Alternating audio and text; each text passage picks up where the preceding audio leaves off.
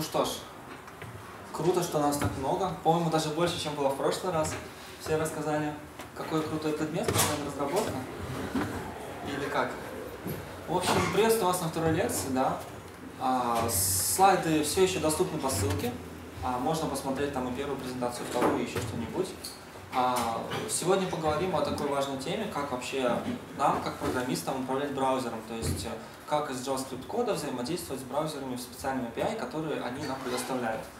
Вот, и начнем с такой вещи, как э, с такой... А я не вижу тут самого главного. А где самый главный-то? Он, Он что? шуточки и вопросы. Он что, он, он решил, он решил то, что он знает JavaScript э, и что этим можно не ходить? Не. А, вот, блин. Он, видимо, не слышит меня. Привет! А я тебя искал, я просто думал, ты будешь на первой партии. А ты как-то слишком далеко. Отлично. Ну, в общем, поговорим о том, как работает JavaScript и в чем его вообще такая особенность, такая маленькая, очень важная вещь, которую нужно знать, чтобы не наступить себе, скажем так, на хвост. А глобальные объекты, глобальная область видимости. Э, JavaScript — это такой специальный язык, он в некоторых местах, в некоторых, скажем так, моментах очень сильно отличается от других языков. В частности, э, очень важное отличие именно в том, как работает глобальная область видимости и вообще область видимости. А глобальными называют переменные функции, которые не находятся внутри какой-либо либо функции или блока. То есть, э, если мы откроем консоль браузера и начнем писать какой-то, допустим, код, то вот те переменные, которые мы будем объявлять, они будут находиться глоба... они будут являться глобальными переменными. Если мы напишем TypeScript и в нем будем какой-то код разместим, то все эти переменные, которые не внутри какой-то функции, они будут являться глобальными. И, соответственно, если мы создадим какой-нибудь файл JS и подключим его на страницу, то все функции переменные оттуда тоже будут являться глобальными. А в JavaScript все глобальные переменные являются свойствами специального объекта, который называется глобальный объект. Присваивая или читая глобальную переменную, мы фактически работаем со свойствами глобального объекта. Это прям по сути выдержка из спецификации. В чем это заключается? А в браузере глобальный объект это объект window. Объект window, он самый глобальный, он не лежит ни в каком объекте. У него есть специальный статус, мы не можем его никак переопределить, мы не можем написать window равно null и, и еще много-много вещей, ну есть, скажем так, ограничений в работе с ним. А как это выглядит? Объявляем переменную var foo равно 42. И она автоматически становится свойством объекта window, то есть window.foo сразу становится равным 42. А если же мы объявляем переменную через const или через let, то такого не происходит. И именно вот в этом ключевое отличие const и let, и именно поэтому мы в ваших домашних заданиях рекомендовали вам использовать именно его. Эта вещь, она как бы, эта вещь, она с самого начала, с самого первого дня в JavaScript появилась, а это достаточно недавняя а, особенность, и поэтому а, многие они просто не знают. Так вот, чтобы не наступить на грабли, самое первое правило – это не использовать var никогда. А, точно так же в обратную сторону. Если мы напишем window.bust равно что-нибудь, то можем обратиться к этой же переменной просто так, без window. Соответственно, все другие переменные, которые лежат в window, например, такие вещи, как документ, мы на прошлом занятии обсуждали, к ним тоже можно обращаться как через точку, так и просто так. Вот. А дело вкуса. Например, в окружении Node.js глобальный объект тоже есть, но он там называется по-другому, он там называется global. Соответственно, все переменные, там, допустим, процесс, в котором можно найти переменное окружение, там какие-то другие, они являются свойствами объекта global. То есть мы пишем, можем посмотреть, что в нем находится, можем бить переменную foo, global foo будет равным 42. Вот э, очень важно на этом месте, скажем так, понимать его, потому что большая, очень большая часть ошибок, которые вообще случаются в работе, ну, в фронтенд разработке, они связаны вот именно с непониманием того, как работает глобальная область видимости в JavaScript. А в глобальной области видимости this ссылается на глобальный объект. Есть this, который есть в любых других языках, там в C, в Java, кое-кем любимый. Вот, в JS, если мы напишем this, вот просто вот посреди файла напишем this, то this будет ссылаться на глобальный объект. Если это браузер, то this будет равен window. То есть э, нет никакого ограничения того, где можно писать this. This можно писать в любом месте кода. А, существует целые правила, то есть прям список из пяти пунктов, как определять, чему равен this вот в конкретном месте. А, он достаточно такой, ну, нетривиальный в некоторых местах, но он вот после некоторых, если вы прочитаете и осознаете, то в принципе он становится понятным и очень логичным. JavaScript это язык, э, который работает по спецификации, у него есть инструкции, то есть там все логично описано и однозначно определяется. Вот, то есть в браузере this это Windows. Но если мы напишем не внутри функции какой-нибудь, если мы напишем внутри функции, то this будет в зависимости от того, вообще как мы эту функцию вызвали. Там тоже есть свои, скажем так, э, нюансы. А в Node.js не все так просто. Если мы напишем script.js, ну, допустим, такую вещь, и запустим нода script.js, то нам выведется false. То есть, казалось бы, э, глобальная область видимости, да, но this, оно, оно, оно global, это false. А, но если мы возьмем и через ноды флаг минус p позволяет строчку просто выполнить. То есть есть питон, там минус e, какой-нибудь perl минус e, bash минус e, нода минус p. Он выводит то, что вот здесь написано, скрипт, и выполняет его, выводит на консоль то, что в результате получилось. Так вот, если таким образом вызвать этот же самый код, то будет true. А, это не какая-то там ошибка, на самом деле это тоже есть причина, по которой так происходит. Попробуйте разобраться, почему, если кто-то разберется и расскажет мне, то там будет плюс балл, можно будет поставить без проблем. Вот вам задачка такая. Все объекты в JavaScript, вообще все объекты, ну и любые другие переменные, функции, это тоже все объекты, а, делятся на три категории. То есть их можно по определенному признаку разделить на три категории. Это нативные объекты, это хост-объекты и это пользовательские объекты. С пользовательскими объектами все просто. Написали var foo равно 42, вот на пользовательский объект, пожалуйста. Никаких особых интересов нету. А вот э, с первыми двумя строчками давайте чуть-чуть поподробнее. А, нативными объектами JavaScript называют объекты, свойства и поведение которых описаны в спецификации языка JavaScript. Их наличие не зависит от того окружения, где запускается код. А, например, Object, Array, Infinity, Date, Mav, ParseInt, Eval. Это все, это все функции, они описаны в стандарте JavaScript, ECMAScript 2016-2017. Они все строго как бы, работают везде одинаково, и они есть вне зависимости от того, где этот код работает. То есть, если это код браузерный, или это код Node.js, или это еще какое-то другое окружение JavaScript, нативные объекты везде есть, и они везде одинаковые. Все нативные объекты, ну, большая часть из них являются свойствами объекта window, ну, глобального объекта. То есть э, можно написать window.mav или можно написать просто mav, и это будет одно и то же. А, в отличие от них хост объекты это объекты, которые предоставляются окружением, то есть зависят от того, где работает код. Если мы откроем, допустим, загружаем страницу, а, до этого никаких скриптов не было выполнено, откроем скрипт, ну какой-нибудь там пишем в скрипте и делаем консоль лог window, то все то, что есть в window, это все хост-объекты, ну за исключением нативных объектов, если мы ничего сами еще не создали. А, например, для браузеров это, объект, это объекты документ, о котором шла речь, location, history, XML, HTTP requests, timeouts, interval, там много их. Я просто перечислил вот наиболее такие популярные. Для Node.js хост-объекты будут другими, то есть э, другое окружение, другие хост-объекты. Например, процесс. Хост-объект, который предоставляет доступ к состоянию текущего процесса. Вот. Э, важно понимать то есть, э, разницу, когда я говорю нативный объект или хост-объект, и что за что отвечает. А на прошлой лекции, на первой лекции, Дима вам показывал такую краткую схемку, красивую картиночку про то, как устроен браузер. А он рассматривал устройство браузеров в общем, то есть э, там то, что есть какой-то HTML рендерер, есть какой-то там V8 engine, есть еще какие-то kernel процесс. Поговорим о том, как устроить браузер относительно языка JavaScript, то есть с точки зрения JavaScript. Так как мы программисты, мы должны знать, с чем мы работаем, но если мы программируем для браузера. Так вот, все вообще, все, что есть, все, до чего у нас есть доступ, как для программистов, это ну, составляет единую общую браузер Object Model, браузер, объектную модель браузера, сокращенно BOM. А во главе этого бома лежит объект window, потому что это глобальный объект. И все свойства, которые в нем есть, за исключением, за исключением нативных свойств, они, собственно, описываются именно вот этой вот вещью. Например, window.navigator предоставляет какую-то информацию о том, на каком устройстве запущен этот браузер. То есть там э, разрешение устройства, компьютер это или там планшет, операционную систему, сколько там ядер на процессоре, в общем, такие вот вещи всякие. Например, location — это объект, который предоставляет информацию о том, какой ресурс сейчас загружен. History — информация о том, ну, об истории работы с документом, то есть там по каким ссылкам мы переходили и вообще вот такие вот всякие вещи. Собственно, документ, это вот э, о нем чуть-чуть позже. Скрин, например, объект э, с информацией об экране, то есть а, не о мониторе компьютера, а именно об экране, в котором открыт наш сайт.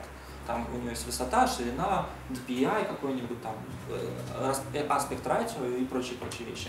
И такая вещь, как документ, это часть, которая называется дом, и, собственно, там содержатся вот э, еще более полезные вещи.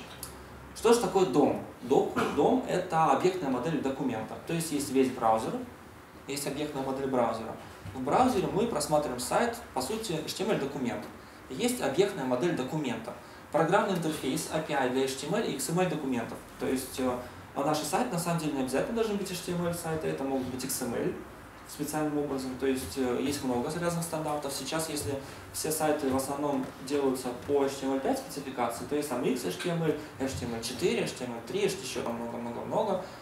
В общем, Дом предоставляет структурированное представление документа и то, как эта структура может быть доступна из программ. То есть дом описывает то, как мы можем взаимодействовать с содержимым страницы, то есть именно с тем контентом, который есть на странице, из JavaScript кода. По существу представление дом соединяет веб-страницу с языком JavaScript, да, позволяет изменять содержимое, стиль и структуру документа. А, такая фраза «дом дерева». Что это такое? А, так как э, все страницы это имеют HTML, ну, кодируется в HTML, а HTML это по сути текстовый, текстовый, текстовый э, язык разметки, который каким-то образом иерархическую структуру описывает, которая является в итоге документом. То есть в главе дом дерева стоит, допустим, HTML, ну как, обычный HTML, там есть какой-то тег head, у него есть мета-теги, link, например, тег body, там есть какой-то э, абзац, какой-то div, какой-то span, image, есть текстовые, скажем так, ноды, и узлы, есть э, узлы, элементы. В общем, все это это дом дерева. И по сути дом, это, дом дерева это то, с чем мы можем взаимодействовать. А, Document Object Model нужен для того, чтобы манипулировать страницей, читать информацию из HTML создавать изменить элементы. Документ это хост-объект, хост-объект, то есть тот, который представляется браузером, который дает доступ к дому.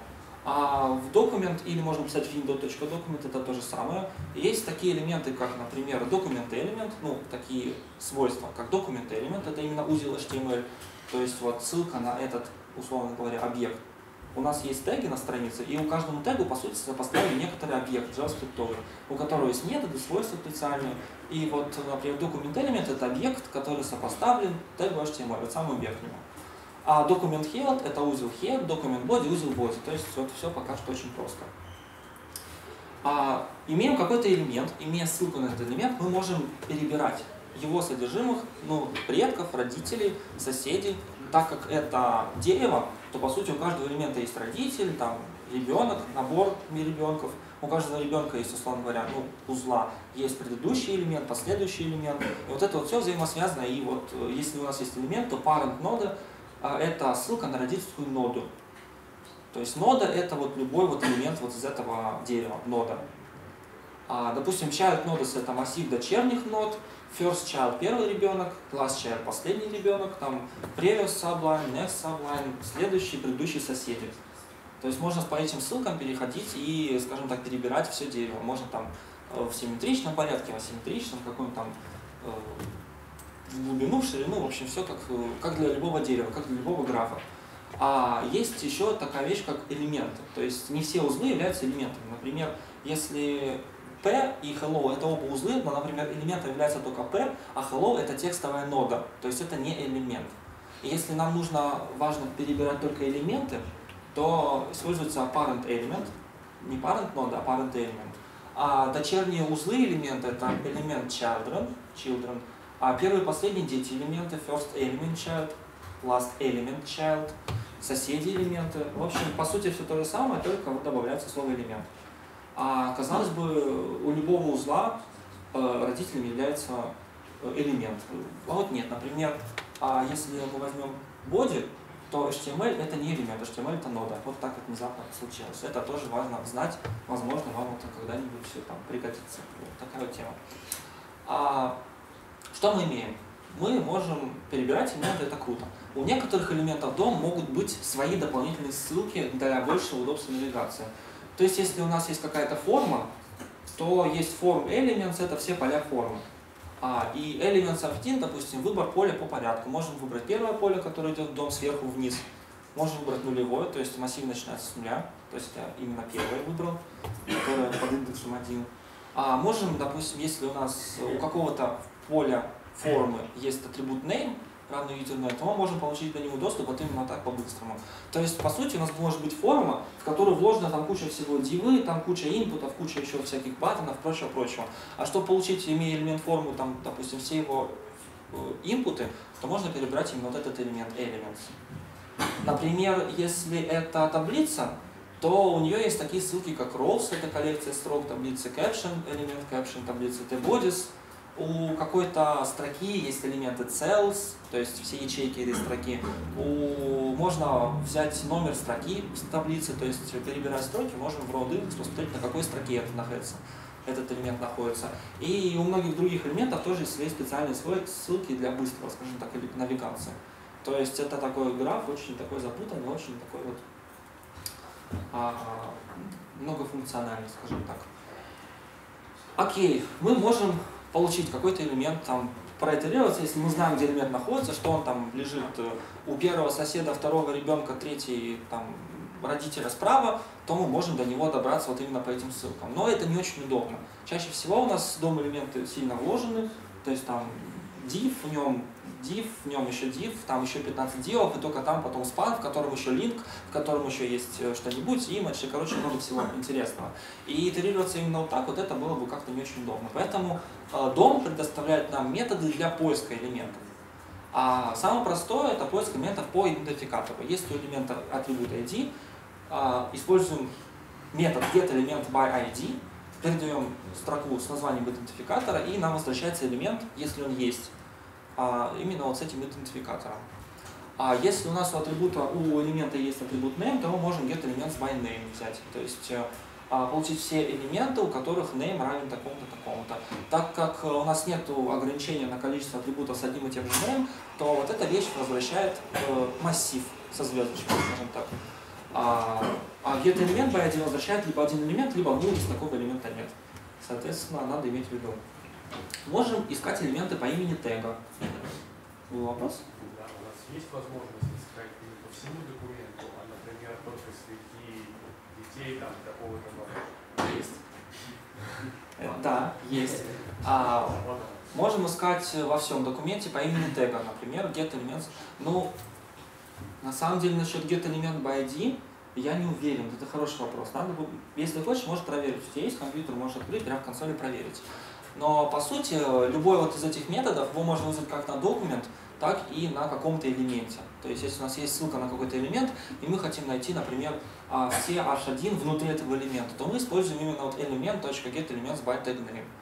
А можно найти их как во всем документе, так и среди потомков какого-то либо элемента. Если мы хотим найти все элементы, то мы можем вот так вот через звездочку передать э, типа универсальный название, э, универсальный тег, условно говоря. А, можем по имени класса. Если у нас есть на элемент навешен какой-то CSS класс, то мы можем get elements by class name получить все элементы в документе с таким-то названием класса. Или среди потомков какого-то элемента можем найти. А можно искать по CSS-селектору. Если у нас какая-то сложная структура, нам нужно прям элемент, у которого два класса, еще идентификатор, еще что-нибудь, можем использовать э, query selector all. Это только у документ, вроде как по-моему. Иначе я бы написал, наверное. А, нет, вот, есть и Query Selector Role, передаем туда просто строку, именно вот название CSS Selector. То есть, как мы пишем CSS, так и здесь. То есть, input, type button, red button, бла-бла-бла. И возвращает нам массив всех элементов, которые удовлетворяют этому селектору. А это во всем документе, это среди потомков какого-либо элемента. А есть также метод querySelector, который позволяет найти только первый элемент, который этому селектору удовлетворяет. То есть э, в зависимости от задачи может быть либо все элементы, либо первый элемент. И вот э, можно использовать либо этот, либо этот. А в чем разница? Разница, наверное, в производительности. Искать все элементы или остановиться, когда мы находим только первый. Ну, в общем, имейте в виду.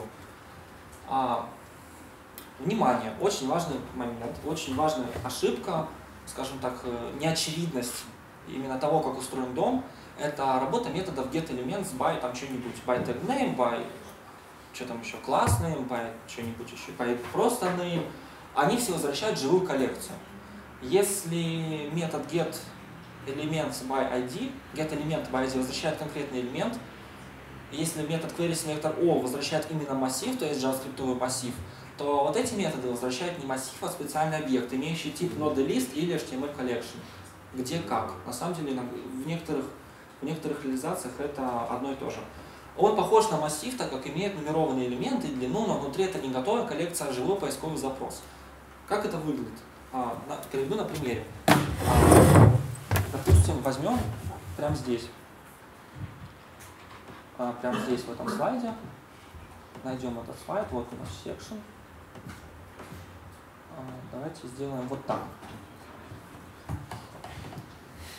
Доллар, доллар ноль. Вот у нас, вот наш слайд весь. Давайте найдем у него, допустим, все элементы, вообще все элементы. Пишем get elements by, by tag name, придаем звездочку, да? 10 элементов. А вот, собственно, h, заголовок, какой-то код, что-то не то. Что? А, вот, да. H2, вот, собственно, вот, br, strong, собственно, вот элемент, видите, элементы слайда, вот они здесь все. Это все элементы, которые есть на странице. Ну, на этом слайде все элементы с любым названием тега. Допустим, сохраним это в переменную. Да? a.length 10. Что теперь сделаем? Теперь давайте возьмем, например, вот этот элемент, да, и добавим после него еще что-нибудь. Например, не знаю, что-нибудь, просто пишем edit HTML, и вот здесь вот дописываем, допустим, H3. Да?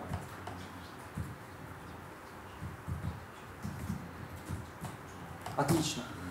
Нет, не отлично. Отлично, великолепно. Там топ-кек на месте. Все шикарно. Смотрим на такую вещь. Откроем консоль снова, делаем alenv 11. То есть мы ничего не делали в JS-коде. А, мы просто добавили элемент прямо через редактор вот на страницу. И у нас э, в А на один элемент стало больше. То есть, э, что значит живые поисковые запросы? Давайте я это сверну. Это означает то, что вот этот объект, который возвращается, псевдоколлекция, это на самом деле не статический массив, а вот именно живая коллекция.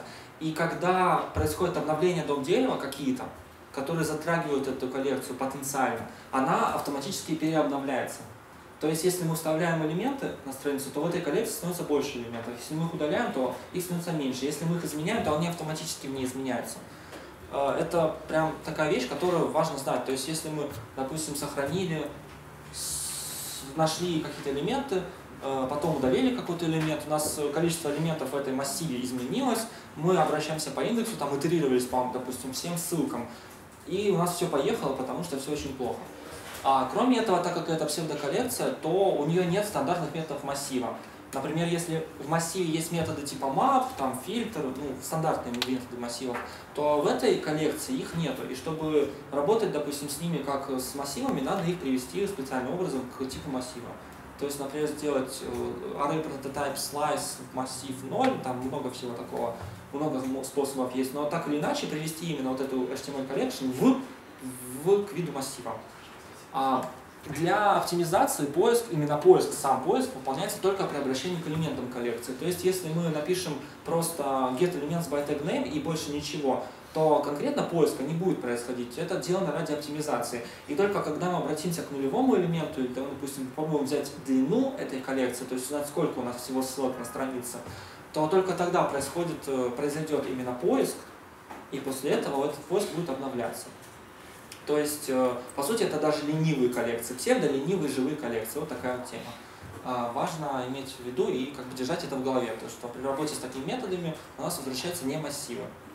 То есть я уверен, каждый из вас сегодня там, или завтра будет делать ДЗ и столкнется с этой проблемой. Будет, как, как это же массив, у него нет мап, а вот нет мап, это, это не массив.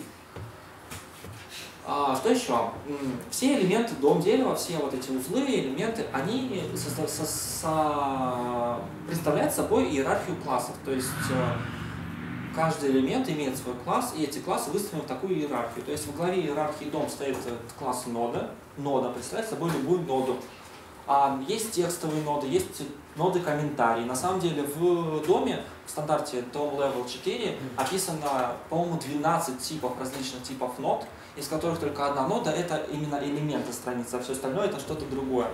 Я сам не знаю, я могу вам назвать максимум 5, а что, что такое остальные 12, я такой, типа, не-не-не. Вот, э, собственно, элементы делятся там на SVG элемент, HTML элемент. Можно в страницу ставить SVG элемент, и там тоже будет свое дерево, и мы можем прям, если он заинлайнен, то есть если он вставлен не через CSS, не через image, а через именно вот в дом дерева вставлен SVG, то мы можем перебирать именно вот элементы SVG, то есть прям вот внутрь туда. А так как мы работаем все больше с HTML, ну, по крайней мере, сегодня, то дальше идет HTML элемент, и тут уже прямо иерархия. Есть HTML body элемент, HTML anchor элемент, HTML input элемент, HTML div элемент. И, короче, на любой тег есть свой элемент. Мы можем создавать свои элементы, мы можем их вставлять точно так же. Мы можем им свое поведение задавать, это тоже не запрещено. А, вот. У всех элементов есть свойства. Как я говорил, есть свойства типа next, э, first, которые есть у всех. А у некоторых элементов, например, у ссылок или у инпутов, есть свои специфические свойства, которые есть только у них. Например, у нас есть какой-то HTML-код, вот ссылка. Допустим, элемент это h1. То есть элемент это ссылка на h1. У каждого элемента есть свойство tag_name, которое содержит в себе имя тега. Вот, допустим, h1, tag_name это h1. Если у нас будет ссылка на a, то tag_name у него будет равен a. А, по-моему, насколько мне известно, tag_name это обязательно в uppercase. Вот, но от браузера к браузеру могут быть отличия, поэтому имейте в виду, что это не зависит от того, как именно в HTML написано имя тега, кроме, кроме XHTML. Если у нас э, в строгом режиме HTML пальца, то там tagname это именно то, что написано в, в разметке. Вот. В остальных режимах tagname это не обязательно совпадает с разметкой. То есть важно вот этот еще такой момент, тонкий очень, скажем так. А, вот, у каждого элемента есть такое свойство, как inner HTML, это внутреннее содержимое узла элемента в виде HTML. То есть у H1 inner HTML это все, что находится от этой от закрывающей скобки до этой открывающей. То есть вот ссылка, про весь HTML, вот он там находится полностью, полностью, от самого начала до самого конца. А есть свойство outer HTML, это полный HTML узла элемента. То есть, э, если inner HTML это все, что между тегами, то outer HTML это все, что от начала тега, включая сами теги. Вот такая разница. Вот если ссылка, а здесь вот именно H1 ссылка, H1. У, также у элементов есть свойство текст-контент, которое содержит только текст внутри элемента за вычетом всех тегов. То есть, если нам нужно получить именно текст внутри какого-то блока, то мы берем текст-контент и вот ссылка. А также есть э, свойство нестандартизированное, как inner текст, то есть есть inner HTML, а есть inner текст. Но оно не прописано в спецификации HTML, и и оно почти везде поддерживается, но от браузера к браузеру поддерживается немного по-разному, потому что это нигде не стандартизовано. И поэтому его совет, не советую вам использовать, скажем так. Вот, есть такие атрибуты, как hidden, например, атрибуты, отвечающие за видимость элемента. Мы можем присвоить h1 hidden равно true, и это скроет вот этот заголовок. Боже, я вот, я вот в прошлом семестре вот видел эту опечатку, я хотел не поправить. Здесь тоже, да?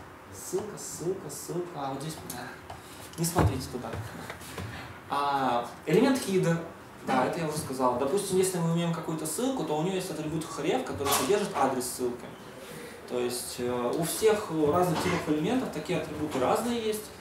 А, и можно их э, в некоторых случаях менять, можно в некоторых случаях нельзя их менять.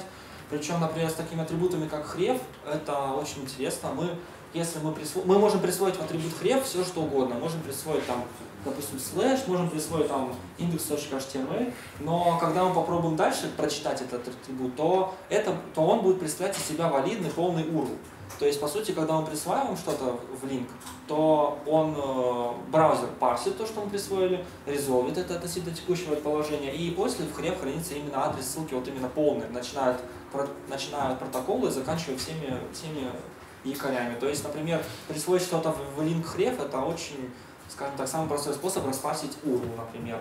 И вот много таких моментов есть и в других элементах.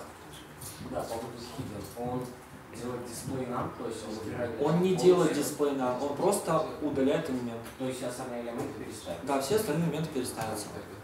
Да, ну, на самом деле, да, как дисплей нам работает. Но просто дисплей нам не, не для всех работает одинаково. Вот, а элемент hidden работает для всех. А, также есть, это свойство элементов, есть у элементов атрибуты. То есть атрибуты, они в HTML выглядят как, ну вот как, например, ref, это в HTML это атрибут. Но просто href это стандартизованный атрибут, и поэтому он является свойством. А, например, если мы присвоим какой-нибудь там abc равно 1, 2, 3, то он не будет являться свойством, и link.abc не сможем получить доступ до него. Надо будет получать доступ до этих атрибутов через вот эти методы. А, то есть мы можем его клик, а потом заново чтобы показать, можем удалить. Чтобы потом его заново показать, элемент hidden равно false, он снова появится. Но он скрывается из отображения, но в самом документе он остается. Давайте продемонстрирую. То есть берем, а, допустим, что мы берем? Вот, сво- свойство элемента, да? Вот, доллар 0, вот это свойство элемента, то есть заголовок. Пишем доллар 0 точка hidden. У нас заголовок скрылся. Пишем доллар 0 точка false. Фо- У нас заголовок появится. Вот так вот. Вот. Атрибуты элементов. Has атрибут, get атрибут, set атрибут, remove атрибут, атрибут, все. И, и двигаемся дальше. А, Думаю, не стоит на этом сильно останавливаться, но вот есть такие элементы, такие методы. Например, очень часто бывает необходимость, ну, такая общая распространенная практика, добавлять в, в элементы некоторую метаинформацию через дата атрибуты. То есть мы пишем дата, дефис что-нибудь, равно что-нибудь. И вот можно до таких атрибутов получить доступ с помощью этих методов. Например, там, сохранить какой-нибудь номер слайда, например, вот, в, в- именно в дом дереве, чтобы было ну, именно в HTML, чтобы вот, можно было потом получить с него доступ. А, окей, можем навигироваться по элементам, можем их искать по селекторам, можем с ними как-то взаимодействовать. Это было бы не очень круто, если бы у нас не было возможности динамически создавать, то есть э, элементы. И вот именно вот с этой вещи на- начинается именно вот сама фронтенд разработка. То есть искать элементы это окей, а вот динамически создавать это уже добавляет какой-то более широкий класс возможностей, который можно с ними сделать. А документ create element, передаем название тега, создает элемент с тегом тег. То есть может создать div, может создать какой-нибудь там span, image, все что угодно. Документ create text node создает текстовый узел. А документ clone node клонирует элемент, то есть элемент clone node. То есть если мы получили ссылку на какой-нибудь элемент, и мы хотим получить его копию, то мы можем вызвать clone node. Причем, если мы передаем в качестве аргумента true, то он сделает полное клонирование элемента. Там есть отличия в поведении, то есть полного и неполного клонирования определенные. А, если вот создали мы элемент, хотим вставить его на страницу. Есть такие методы, как parent, append, child, вставляют узел в конец. То есть у нас есть э, какой-то элемент, у него есть какой-то набор дочерних узлов, и мы хотим вставить еще один в самый конец, после этих дочерних узлов. Append child. А также можем его удалить. То есть, э, если у нас есть элемент, у него есть дети, мы имеем ссылку на какой-то дочерний элемент у родительского элемента, мы можем его удалить, имея эту ссылку. То есть, э, имеем ссылку на узел, можем удалить его его родителя. А, можем заменить элемент какой-то один на другой. Можем ставить перед каким-то элементом. То есть вот такие вот моменты есть. Можем ставить. М, Собственно, вот, э, пожалуй, вот все эти методы, которые позволяют искать элементы, управлять элементами и создавать элементы, это вот э, все методы, которые нам доступны в доме, которые позволяют этим домом управлять и генерировать содержимое страницы динамически, то есть не какой-то статический пришедший с сервера, а именно уже управлять им самостоятельно из, из кода. А На первом занятии мы, собственно, этим занимались. Там при нажатии на кнопочку у нас добавлялся класс name элементу. Кстати, я вот про это не написал. И элемент скрывался. Есть э, у элементов, у всех элементов есть э, на самом деле есть ссылка на стили, который есть в этом элементе.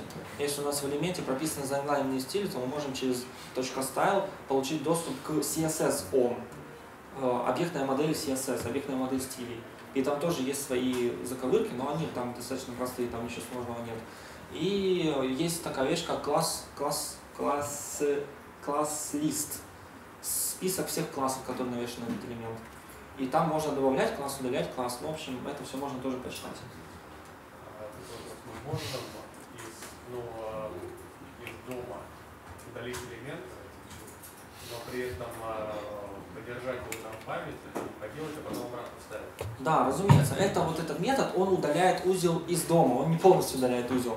А JavaScript, в нем есть garbage и поэтому пока у нас есть ссылка на этот элемент, то этот элемент из памяти удалится. Мы можем удалить из одного места дома, вставить другое место дома без проблем. Причем в некоторых случаях бывает полезно вообще не вставлять элементы в дом. Например, для парсинга ссылок просто создали какой-нибудь элемент А, и там присылаем ему хреб и парсим ссылку, а в дом нам его вставлять незачем. Такие моменты тоже есть. Больше нет вопросов на эту тему? Потому что мы заканчиваем с домом и переходим, ну, с, с этой вот частью лекции переходим к следующей. Отлично. Как бы окей, дом домом, это все хорошо, можем менять страницу, можем не менять страницу, но это все как-то скучно. Хочется как-то взаимодействовать с пользователями, да? А, так вот, для взаимодействия с пользователем есть такая вещь, как браузерные события. Для реакции на действие посетителя, бла-бла-бла, существует событие. Событие – это сигнал от браузера о том, что что-то произошло. Существует много видов событий. То есть никакого сложного определения, это не rocket science, это все очень просто. А есть события мыши, например, клик происходит, когда кликнули элемент. Контекст меню происходит, когда кликнули элемент правой кнопкой. Mouse over, mouse move, mouse on, mouse down, mouse up, mouse, mouse что-нибудь еще. Там куча событий мыши. Есть pointer events тоже, pointer on, pointer move, pointer over, pointer что-нибудь. Много, короче, их. Есть события на элементах управления. Например, имеем кнопку, а у нее есть события, там, ну не кнопка, а форма например, да, у нее есть событие submit, когда мы форму засобмитили. И у инпутов есть событие focus, когда мы сфокусировались на элементе. У клавиатуры есть события key down, key up, нажали клавишу, опустили клавишу, там key press есть, это когда мы нажали и отпустили. Вот. Есть также события, которые не связаны напрямую вот с пользователем, а такие события, как, например, загрузили страницу или перешли в офлайн или еще что-нибудь. То есть событий масса, и события позволяют нам взаимодействовать со страницей. А чем маус от поинтера отличается? А, есть отличия. В поддержке браузера, например, э, о них на самом деле будет отдельный раздел в отдельной лекции ближе к концу курса. Сейчас я не хотел бы на этом останавливаться, потому что это не очень быстрая история. Надеюсь, ты можешь сам прочитать без проблем, это, это, не, это не секретная информация, это есть в интернете, есть даже на русском языке, в общем, я думаю, ты найдешь. А, так вот, а, для того, чтобы нам на эти события как-то реагировать, существуют такие вещи, как обработчики событий. Обработчик – это функция, которая срабатывает, как только событие произошло. Именно благодаря обработчикам JS Code может реагировать на действия посетителя. А, чтобы этот обработчик, скажем так, обрабатывал, нужно его определенным образом зарегистрировать. Есть три разных способа это сделать. А, например, добавить через атрибут. То есть у нас есть баттон, можно прям, у нас есть баттон, можно прямо в HTML написать он клик, вот такая строка, нажми меня. И при нажатии на, на кнопку у нас вот, собственно, вот, клик, клик, клик, клик, отлично. Магия. Мы написали магию, да. Вот. В... Это, по сути, это просто строка, которая является JS-кодом. Вот this внутри этой строки, в this внутри обработчика ссылается на этот button. И только так. Собственно, мы можем взять this, парный элемент, то есть мы взяли кнопку, взяли родительский элемент у этой кнопки, то есть весь слайд, и в inner HTML просто прибавляем вот такой вот код. Здесь мы прибавляем в inner HTML HTML код, а он парсится и вставляется на страницу просто спам. То есть вот такое вот взаимодействие между дом свойством и дом с правилами. А это можно добавить через свойство дом объекта. То есть если мы имеем элемент какой-то, получили ссылку на какой-то элемент, можем написать element.onClick равно какая-то функция. И вот, вот так вот делать. То есть... Вот, То есть вот кликнут он раз, кликнут один, два, Все просто. А у этого у этого и у этого способов есть недостатки. Их на самом деле очень много. Например, э, недостаток в том, что таким образом можно весить только один обработчик. То есть здесь как бы два раза он не напишешь. Недостаток в том, то, что вот здесь, например, ZIS строго фиксирован. И нет доступа, допустим, к каким-то другим функциям. Есть доступ только до глобальных. Только до глобальных переменных и объектов внутри такого обработчика. То есть можем здесь обратиться к, допустим, к window.document, но к какой-то другой переменной функции, которая объявлена не глобально, мы не можем иметь доступ. Здесь э, чуть-чуть попроще в этом плане, то есть э, здесь уже имеется доступ до всего, до всего окружения, то есть вот мы внутри имеем доступ до переменной count, мы внутри имеем доступ до element, но таким образом тоже можно навесить только один обработчик, и это вообще считается на самом деле как bad, bad, bad practice. В некоторых случаях только так можно добавлять обработчики, в некоторых случаях, но не на HTML элементы. Обработчики могут добавляться не только на HTML элементы, они могут добавляться еще к другим объектам специальным, которые есть в браузере. О них мы чуть-чуть попозже поговорим. А самый нормальный способ, самый правильный, который стоит использовать всем вам, это добавление атрибутов через э, add event listener и remove event listener. А, собственно, add event listener – это добавление обработчика, remove event listener – это удаление этого обработчика. А с помощью add event listener можно добавить более чем один обработчик событий. А, передается два аргумента. Event – это строка с названием события, а handler – это, собственно, функция, которая вызывается, ну, которая вызывается в качестве обработчика. А чтобы удалить обработчик, надо передать те же аргументы, что были и у event listener. То есть э, очень частая история, когда мы, допустим, в handler передаем анонимную функцию, а потом пишем remove event listener и передаем точно такую же анонимную функцию. Но так как это два, две разных анонимных функции, они являются разными. И ссылки на эти функции тоже разные, потому что они просто, ну это две функции, они имеют одинаковый код, но они разные. Вот. Поэтому надо, чтобы надо, поэтому если мы хотим удалять обработчики, то нам надо сохранить эту анонимную функцию какую-то переменную и поставлять сюда эту переменную, то есть сохранить ссылку на эту функцию. Вот такой вот момент имеет место быть.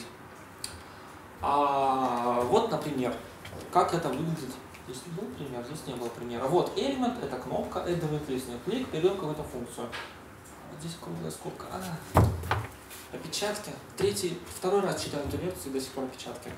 А, так вот, Э, функцию обработчик передается специальный объект event, который содержит какую-то информацию о событии.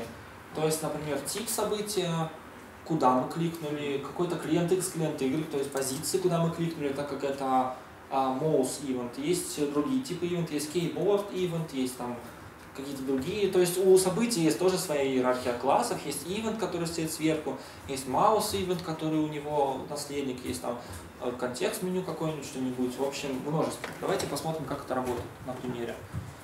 А, папа Например, клик на меня. Вот клик на Object HTML button элемент, то есть это HTML button элемент. И вот тут, допустим, кликаем чуть левее, первая цифра поменьше, кликаем правее, первая цифра побольше. Первая цифра это x, то есть э, от левой границы до места, куда мы кликнули. Вторая цифра это y, от верхней границы до низкой, куда мы кликнули. Вот таким образом можно э, достучаться до различных характеристик события и по-разному на него реагировать. Например, э, кликнули правой кнопкой, кликнули левой кнопкой, кликнули, когда была зажата клавиша Alt, например. Много таких вариантов.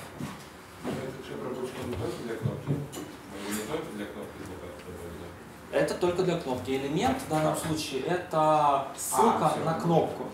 И поэтому Listener добавляет обработчики именно для этой кнопки.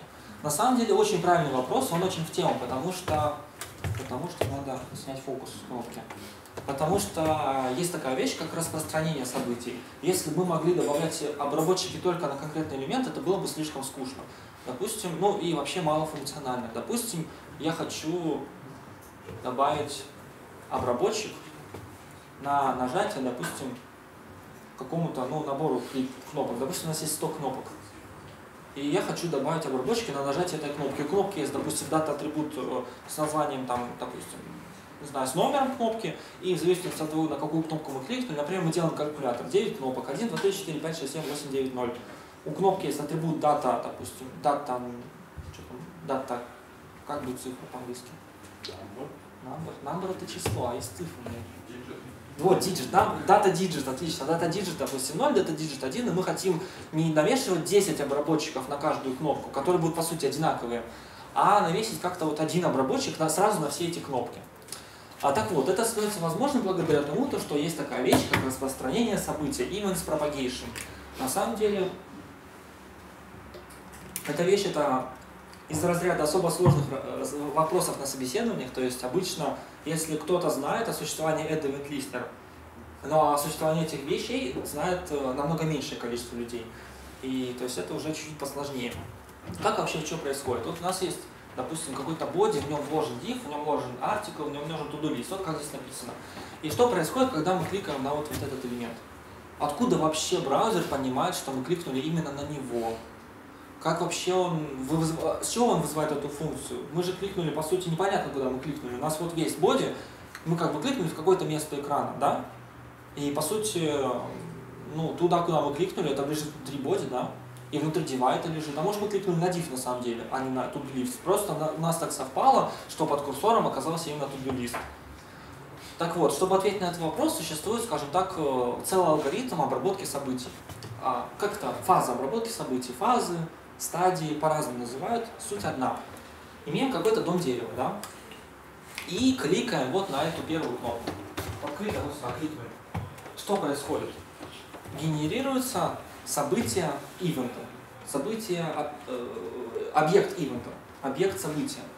И оно генерируется где-то там в памяти, и, допустим, ему в какое-то свойство, допустим, L, э, присылается ссылка именно на window ноду.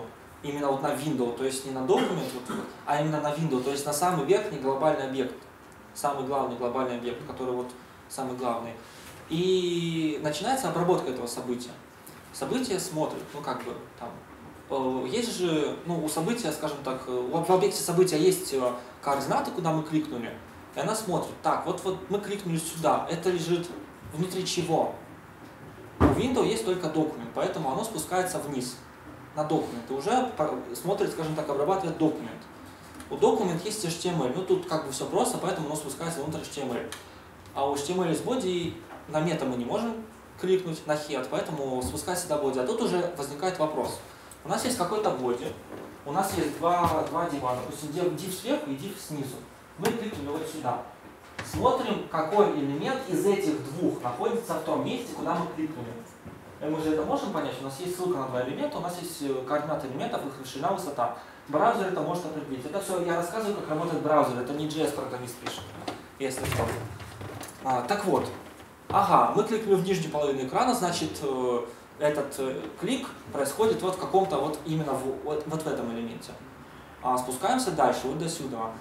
И точно так, вот пока мы вот э, обрабатываем события, пока мы не дойдем до самого низа, до самого последнего элемента в дом дерева, у которого уже нет потомков, мы вот эти все, вот этот весь путь сохраняем куда-то там в локальную переменную.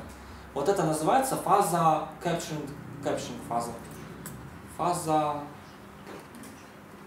фаза, фаза, стадия перехвата, да, я забыл название. Вот, это стадия перехвата, это вот последовательность, алгоритм, по которому браузер ищет, по каким, в каком в итоге элементе, на каком итоге, в итоге элемент мы в итоге кликнули.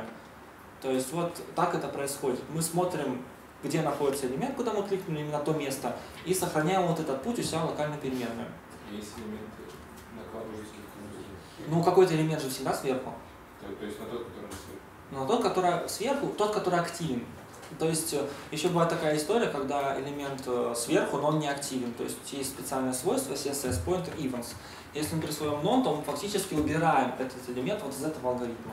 И таким образом клик срабатывает на элементе за ним. Это я только для клика рассказываю. Есть другие э, события, например, key, key down. Мы на какой элемент нажали кнопкой? Ну, клавиатурной. Ну, как бы на все. Поэтому событие key down, оно срабатывает со звездочкой на всех элементах. Есть такие события, которые вообще не сработают на элементах. Например, а, on ready state, on, on, on load, да? Don't content loaded есть такое событие, оно срабатывает э, только на документ, например, оно вообще не идет дальше. В общем, у всех событий есть своя специфика, у некоторых, но в целом алгоритм вот именно такой. Вот, допустим, для кликов, для mouse move, для событий мыши, он примерно вот такой и не отличается. А, так, мы э, дошли до низу, увидели этот элемент button one. И что делать, если мы, допустим, навесили обработчик клика вот сюда, на этот элемент, а по сути клик произошел здесь, то есть вот прямо на этом элементе. По идее, у нас должен же вызваться этот обработчик или нет, как думаете? Мы же кликнули вот на этот div. Просто мы попали на кнопку, ну вот мы промахнулись, а кликнули там на div. А после события перехвата, после стадии перехвата происходит стадия всплытия. На самом деле, строго говоря, есть три стадии перехвата событий, то есть это просто картинки красивые, одинаковые, которые я вставил, но на самом деле они, как сказать, врут. А это должна быть фаза 1, это должна быть фаза 3, а есть такая называемая фаза 2, называется стадия цели. Это именно та стадия, когда мы дошли до элемента и вот обрабатываем, ну, в общем, вызывается обработчик именно конкретного элемента, на котором это событие было создано. Ну, вот ее здесь нет на картинке, но в целом она как бы есть. То есть событие идет сначала сверху вниз, это стадия перехвата, потом событие достигло целевого элемента, это стадия цели, и событие начинает всплывать. Это стадия всплытия.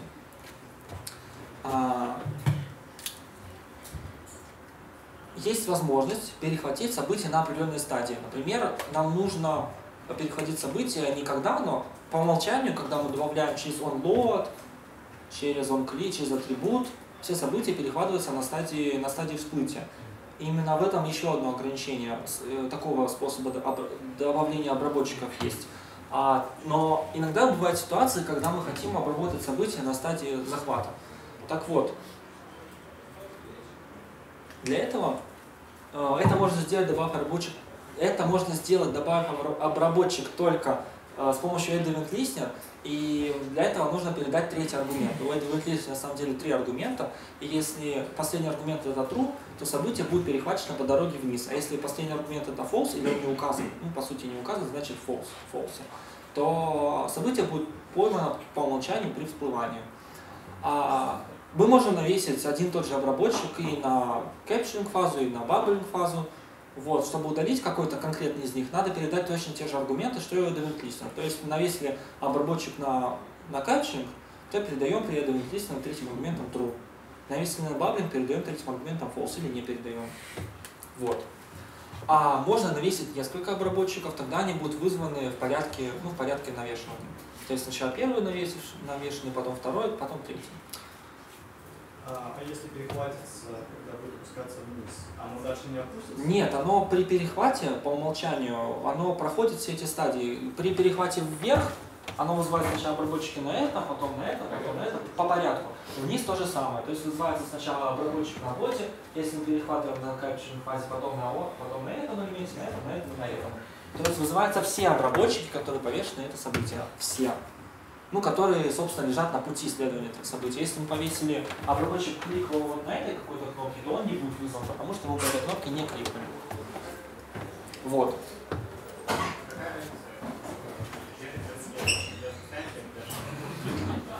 Есть разница. Например, вот нам нужно по бизнес-логике вот так сделать. Ну, вот надо нам. Допустим, у нас на кнопку, допустим, у нас на кнопку вызывается, допустим, эта кнопка ссылка, да? И при клике на ссылку у нас переходит, происходит переход на другую страницу. А мы, например, Яндекс Метрика, и мы хотим составить карту кликов нашей страницы, да? То есть, куда мы больше всего кликнули. Если мы, куда мы в этом случае мы должны навесить обработчик клика? Наверное, на самый верхний элемент, на боте прикрыть на боте, мы сохраняем какой-то лог, э, координаты клика, и потом в интерфейсе рисуем красивую карту. А что произойдет, если у нас мы кликнем по ссылке, и мы уйдем со страницы? А обработчик э, клика на боте не выполнится, потому что мы уже ушли со страницы. А если перехватим обработчик боте на стадии качества, то тогда он выполнится, залогирует, а потом мы возьмем, собственно, дойдем до ссылки и перейдем на другую страницу. На самом деле таких э, кейсов, ну, то есть ситуаций, когда это требуется, они есть.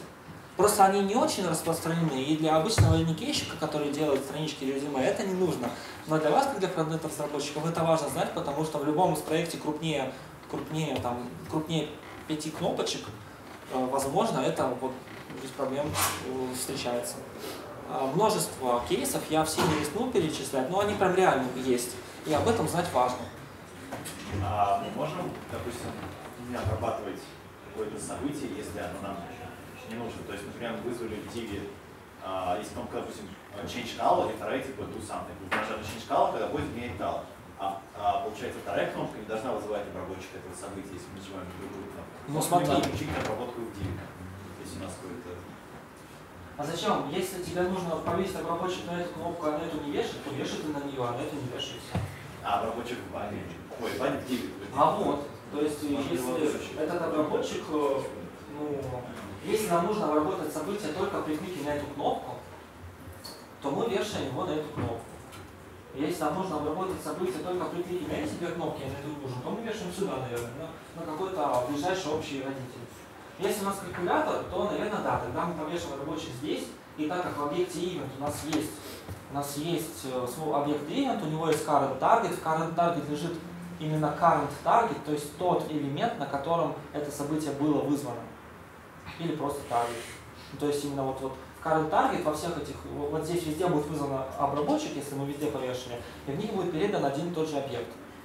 Ну, по сути, плюс-минус один и тот же объект, у них current target будет один и тот же. И здесь, здесь, здесь, здесь, здесь current target будет указывать на эту кнопку. И мы можем, да, уже там делать какую-то свою логику сложную, без проблем. То есть масса вариантов. А, есть пока вопросы? А, двигаемся дальше. На самом деле, вот как я и сказал, да, можно предотвращать обработку событий. То есть, если, допустим, мы кликнули на кнопку, например, и каким-то образом поняли, что а вот, вот э, не надо там дальше, чтобы продолжалось это событие. Например, если это ссылка, а мы кликнули на ссылку, и, допустим, если что-то не так, то мы не хотим переходить по этой ссылке. То есть предотвратить обработку события по умолчанию, например. Или если у нас, допустим, навешен обработчик на этот div, но мы поняли при клике на эту кнопку, что что-то не так. И мы не хотим, чтобы обработчик на div на, на вы, выполнился. А, мы можем предотвратить событие. А, есть такие, в объекте event есть метод prevent default, который предотвращает поведение по умолчанию. Например, если у нас есть форма и в ней кнопка type submit, то при нажатии на эту кнопку по умолчанию отправляется запрос с методом, который указан в заголовке формы, у нас вообще редирект на другую страницу. Например, если у нас метод post, то у нас, по идее, при нажатии на форму происходит запрос вообще и редирект. А мы как бы, мы не хотим так, мы не хотим, чтобы был редирект, мы хотим обработать и самостоятельно как-то эту форму обработать. А, вызываем привет default у события и дальше уже делаем свой код. Или, например, то же самое при клике на ссылку. Мы не хотим переходить по странице при клике на ссылку на какую-то другую, а хотим, допустим, просто что-нибудь там сделать, например, вывести алерт, типа не уходите, мы вас любим. То тоже делаем prevent default и вот такое вот место. У многих событий есть поведение по умолчанию. Например, мы хотим запретить в какой-нибудь текст ария нажатие кнопки Enter, то есть чтобы нельзя было нажать Enter. Добавляем событие на on key down, и если у нас кнопка Enter, то мы делаем prevent default, и Enter не печатается. А на все остальные кнопки печатаем, например. Вот такая вот фильтрация. Хотим, чтобы в форму вводились только цифры. Что-что? А, нет, от копипасты защищают по-другому, там есть просто специальное CSS-свойство, которое запрещает выделять текст. Можно открыть э, с помощью DevTools этот, этот текст, выделить его там или убрать это свойство, но э, в то, можно и так, да, но это зачем так, если можно через CSS? Через, через CSS это делать немного проще просто. Что-что? Ну, блин, а ты когда делаешь get запрос, у тебя в ответ приходит весь, все содержимое документа. Ты можешь его открыть в текстовом редакторе и там посмотреть. То есть нет, никак не защитить. Можно указать картинку. И тогда уже с картинки текст не скопируешь. Но с картинки можно каким-нибудь ABI, ABI FineReader разобрать. Вот. Так что все, что вы отправляете к браузеру, это по сути незащищенный контент. И э, при любом, ну, при должном уровне старания его можно как-то вот э, извлечь. А, так вот, prevent default. Stop propagation предотвращает всплытие события.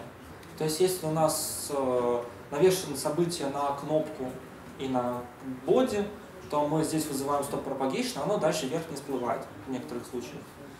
А, но если мы на кнопку навесили несколько обработчиков, и, допустим, в первом вызвали stop propagation, то все остальные обработчики именно на этой кнопке, они будут вызваны, а обработчики выше уже не будут. Если нам нужно остановить вообще все обработчики событий, то есть вот случился алерт, вообще ахтунг, все плохо, и надо вообще все прекратить делать, то есть такой метод, как Stop Immediate Propagation. Он останавливает обработку событий на текущем элементе. То есть любые другие обработчики после вызова этого метода вызваны не будут. А все, которые до были вызваны, они, собственно, уже были вызваны. Так что вот такая тема. Отлично. Вот. Собственно, вот это на самом деле даже больше про события, чем вам нужно знать. То есть большая часть из этих, э, большая часть этой информации, скорее всего, не пригодится. Ну, не пригождается именно в повседневной работе фронтендера. Но знать об этом полезно, потому что это ну, такие знания, которые показывают, что вы на самом деле профессионал в этой области, а не какой-то там jQuery-программист. Так что э, надеюсь, что это было вам полезно. Так вот, а к чему все это идет? Вообще, зачем я вам это все рассказываю? А, в современном веб-приложении, то, о чем я говорил еще на прошлом занятии, а, по большей части, ну, такие как ВКонтакте, Google, это SPA, одностраничные приложения. Что такое SPA? Это когда мы загружаем с интернета один HTML файл, но он загружает там какие-то свои стили, какие-то свои JS-код, и дальнейшее взаимодействие происходит именно уже в пределах этого HTML файла. То есть э, не, страница не перезагружается на каждый запрос пользователя, а просто переставляет свою конфигурацию. Так вот, это возможно именно за счет того, что есть дом. Нажали на кнопку, сработал обработчик, мы скрыли один div, допустим, показали другой div, все, у нас приложение поменяло свой вид. И все приложения, все крупные приложения сейчас работают именно таким образом. И именно это мы от вас и будем требовать ну, вот, на, контроль, на, на, на контрольных работах. То есть ваше веб-приложение игра должно быть именно single-page application. Вот. Домашним заданием вас просили сверстать несколько разных страничек. Сейчас вам нужно будет, собственно, все эти странички иметь в одну с использованием вот этого вот данных. А, э, взаимодействие используется через динамически подгружаемый ресурс осуществляется. То есть, если мы открыли ВКонтакте, открыли список аудиозаписей, то мы отправили сервер запрос за этими аудиозаписями, мы построили какой-то там дом список, ну именно список из аудиозаписей. А потом переходим в фотоальбом и подгружаем уже данные о фотографиях, не сразу, а вот э, когда они понадобятся. Вот, обычно посредством Ajax. А чтобы продемонстрировать это на практике, сейчас давайте переделаем, ну, покажу, как это работает, сделаем что-нибудь из нашего приложения. Практика, да, практика, чуть-чуть как это работает. А, открываем наш сэмпл а, в, в.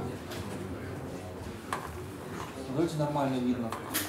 Весь код, который я буду писать, доступен в репозитории sample. Так, секундочку.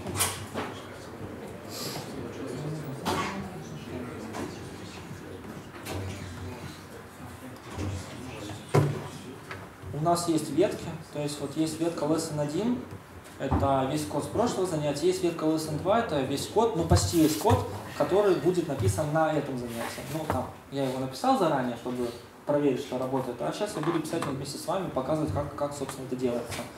А, переходим в sample и смотрим, что у нас есть. У нас есть старт, все, а, уже, уже, уже запущено. Не здесь, вот здесь, да. Hello frontend. Что происходит? Ага, да, да, сейчас.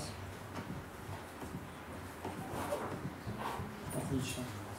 Вот Hello Frontend, все как было в прошлый раз, нажимаем, скрывается. Собственно, открываем main.js, смотрим все то, о чем мы с вами сегодня говорили. То есть вот есть документ, есть get elements by class name, берем нулевой элемент, add event listener, клик, обработчик, э, greetings. Все, вот все, вся сегодняшняя лекция вот в одном слайде, по сути, события. Э, поиск элементов, добавление класса, отлично. False, то есть false это перехват при всплытии, соответственно. Написали бы true, был бы перехват при capture, при захвате. А что мы сделаем? Так как у нас приложение это меню, ну, в приложении, в приложении есть несколько э, разделов, скажем так, экранов. Есть меню, есть логин, есть там какой, допустим, какой-нибудь профиль, есть about, score list. То давайте, собственно, в индекс HTML здесь, вот прям здесь, а, создадим это все добро. Пишем div э, div application. Это вот сюда добавим. Это вырежем. Добавим вот сюда. Наверное, даже мы это скроем. У нас есть div, div, div, div, div. Даже нет, у нас есть меню. Нет, у нас есть nav. Отлично, если элемент nav. По элементу nav добавим ID равно navigation. И здесь есть несколько страниц есть страничка, допустим, с меню. Да? Есть страничка, например, э, логин. Есть страничка, например, профайл. И есть страничка, например, about, да? Вот все, как мы и говорили. Что у нас есть в меню? Меню у нас есть. Давайте это будет не меню, давайте это будет... Давайте не будет это вообще. В логине у нас есть форма, да, форм. Форм ID равно логин. Форм. Я сейчас пишу идентификаторы, чтобы было проще. По идее, это должны быть не идентификаторы, а какие-то классы, либо какой-то другой способ. Потому что на самом деле использование идентификаторов это дурной тон считается. потому что они должны быть уникальны. Если у вас, допустим, где-то в коде появится идентификатор, дублирующимся именем, то у вас все приложение сломается. И надо как-то делать более э, через классы делать универсальные селекторы. Об этом чуть-чуть позже будет про то, как через классы это делается правильно. Вот я сейчас просто для примера использую айдишники, а по сути это не очень хорошо. Добавим input type text, да, name равно, name равно, что у нас будет, username, да? И еще input type email, name, email. Отлично. И input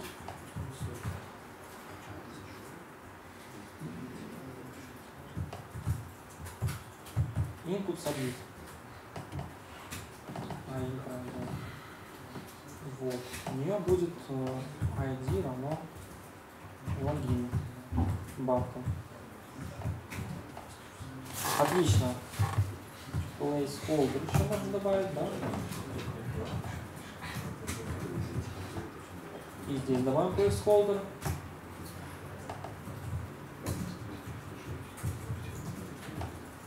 И, собственно, value.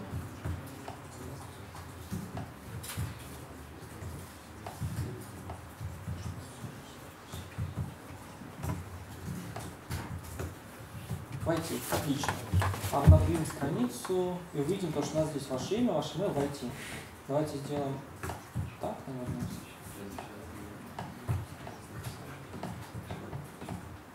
Шик. Ну, в общем-то, мы здесь не верстальщики, поэтому я не буду верстать. Верстать придется вам. Отлично. Вот эту мы вот вещь сделали. Давайте еще добавим какой-нибудь H1, например, H2, H2, да? А, вводите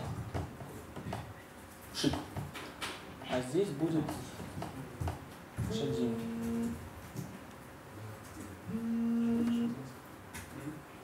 Мне кто-то позвонил, я не знаю кто. H1. H1. И здесь будет э, оп, так.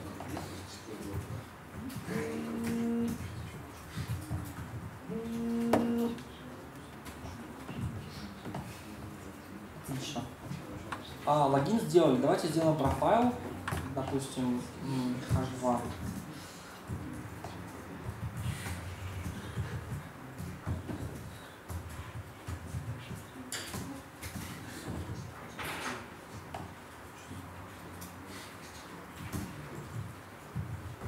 Да?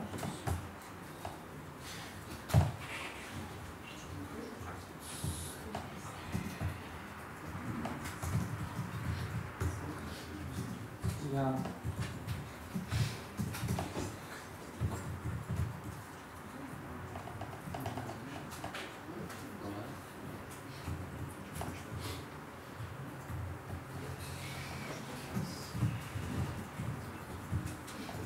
Вот так сделаем, да? Шикарно. И about, about, например, что в about добавим? Давайте в about добавим тоже H2. И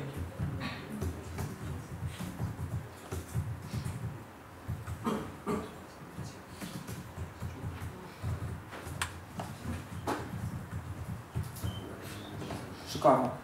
То есть э, вот наше приложение. Что-то тут не так, наверное, тут слишком много всего. Давайте по умолчанию что сделаем? Давайте по умолчанию все скроем, да?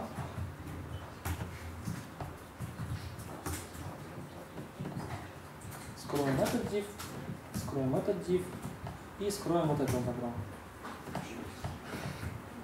Шиптовки к приложению. Отлично. И начнем писать код. Как это будет выглядеть? У нас будет меню, ну по сути набор кнопочек. Когда нажимаем на кнопочку, э, показывается только какой-то один, ну показывается одна секция. Нажимаем другую, показывается другая секция. Ничего сложного. Откроем main.js и начинаем писать код. Это вот мы скроем чуть-чуть, как бы скроем. Вот так скроем и смотрим. Это заготовка для следующей практики. Давайте сделаем прикольно. Создадим const. А, а, sec chons равно массив. Здесь будет массив. Отлично. Здесь будет массив из двух элементов. У нас есть логин, да? Логин.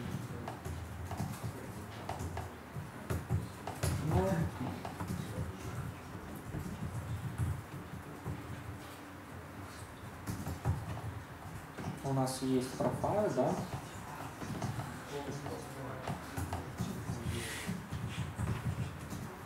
И у нас есть about.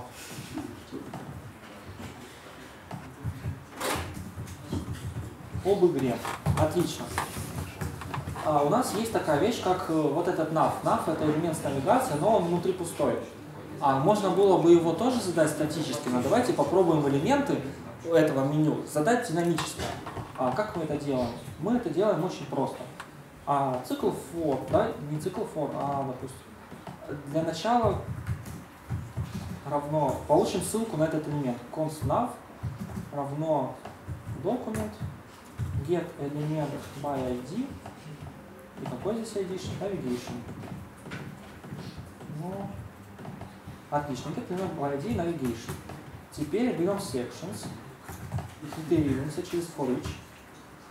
Давайте через for of for а, да, да, вот без, отлично, без of section, section. Давайте вот так вот, section. Ну.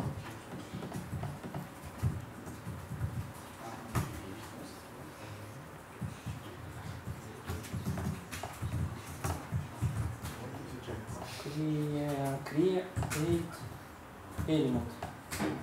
Button. Давайте не button, наверное, а. И Давайте, не- нет, не div, давайте button все.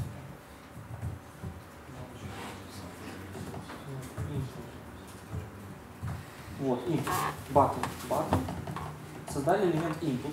Теперь button set attribute type равно button, да? Button set attribute data section section равно section 1 а sections это массив массивов из двух элементов да? а, data section нет data section давайте там data section 0 и button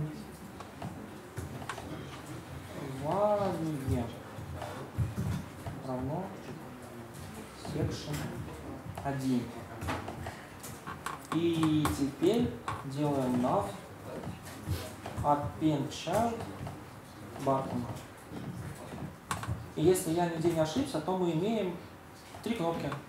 Окно логина, мой профиль об игре. А, Открываем консольку, вызываем кнопку и видим, что видим, что слишком большой масштаб. Какие-то странные штуки. Видим, что у кнопок вот Data Section профайл и About. Понятно пока все? Вот так вот мы взяли, по сути, что мы имеем? По сути, мы имеем просто вот такой массивчик, а мы на его основе уже сгенерировали такой вот такой вот этот, скажем так, вот такой интерфейс. То есть добавим какой-то новый пункт сюда, и у нас автоматически добавится новая кнопка. А, пишем дальше. Что нам нужно сделать? При нажатии на кнопку мы хотим скрыть все элементы, все секшены и оставить открытым только тот, который нам нужен, собственно. А, поэтому что мы делаем? Добавляем обработчик. Добавляем обработчик вот сюда, на application. Давайте сразу же создадим, получим ссылку на application. Давайте получим ссылку на application через query selector. Query selector, оп. То есть можно получать вот так, можно получать вот так. Например, ради разнообразия. И пишем application, add event listener, click, а, function, event. И здесь делаем такую вещь. if event target давайте вообще выйдем сначала консоли log event target обновляем приложение откроем консольку нажимаем кнопку И видим то, что у нас вывелся event target, это ссылка на кнопку, на которую мы нажали. То есть вот, вот. А, э, если мы нажмем, например, на div, то у нас выведется ссылка на div, потому что div находится внутри application, а мы повесим обработчик клика на application. Нам нужно отфильтровать только, только клики на вот эти кнопки. Поэтому давайте, давайте на самом деле навесим обработчик события на navigation. То есть нам не, нужен, не нужны клики здесь и здесь, навесим его на navigation. Да? Так будет, наверное, правильнее. Делаем на nav, add event list, обновляем страницу, и теперь уже при клике на заголовок у нас ничего не происходит. А при клике на кнопки у нас происходит, собственно, ну, пока что консоль лог. Добавим логику. Мы хотим знать, на какую кнопку мы кликнули, какой раздел открыть. Информацию о разделе мы добавили в атрибут data section. Соответственно, берем const section id равно event target get get attribute data section. Section. Обновляем страницу, а, кликаем сюда, видим логин. Профиль об игре. Отлично. Что, дальше, что делаем дальше?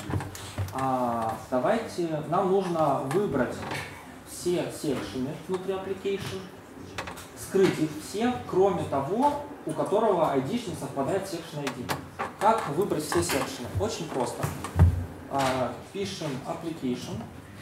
Давайте даже вот так вот. Давайте const leave sections collection равно document, не document, application, get elements by tag name, tag name, какой у нас tag name? Tag name у нас section, отлично. А, и будем вводить leave sections collection. Вот, вывели коллекцию из трех элементов. Видите, их три. А, то есть, э, зачем мы это сделали? Если у нас вдруг когда-нибудь в меню появится еще один элемент, то у нас э, автоматически эта коллекция увеличится. То есть у нас приложение становится универсальным. Например, у нас есть меню, у него три пункта. Мы вошли в приложение, пункты добавили, добавили какие-то специальные пункты, которые доступны только за логином. А перенавешивать обработчики не понадобится, потому что у нас все, скажем так, вот гибко сделано. А что мы делаем? У нас есть э, живая коллекция. Пишем live collection for each, да, и each.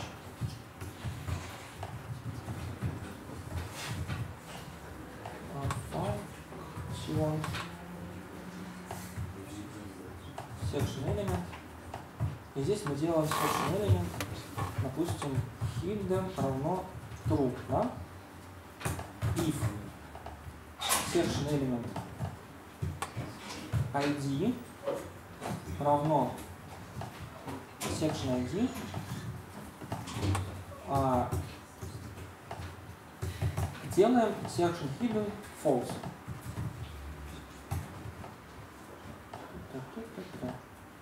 А, ну ладно, можно попроще сделать, неважно. А, то есть мы скрываем элемент, а если у него ID совпадает, то мы его наоборот показываем. А, обновляем страницу и видим, что какие-то ошибки возникают. Из-за чего эти ошибки? Смотрим, что показывает. Leave, leave section collection for each is not a function. Ага. О чем я и говорил. Нам метод get elements by tag name возвращает не массив, а живую коллекцию. В этой коллекции нет метода for each. И чтобы он появился, надо его специальным образом привести к массиву. А, есть э, метод специальный, он, очень, он недавно появился, называется array from. Позволяет э, получить массив из чего-то. Ну, что мы там передаем, он из этого делает массив. А, leave sections array равно array from from вот такую штуку. И если мы сделаем вот так вот, то теперь наше приложение будет работать. А, магия, да? Отлично. Раньше array from, array from это относительно недавняя штука. Раньше здесь была гораздо более страшная конструкция, типа array, prototype, slays, cow, leave section survey, 0, в общем, жуть какая-то. Этого не надо, есть рефом, отлично. Мы поддерживаем только последний пром, поэтому у нас это будет работать. А, давайте еще раз посмотрим, как это. Давайте, давайте, наверное, знаете, что добавим, сделаем чуть-чуть красивее и в greeting добавим margin bottom, допустим, 2n. Чтобы было, чтобы был здесь. Что ничего не сработало, да? Какие приложения? А,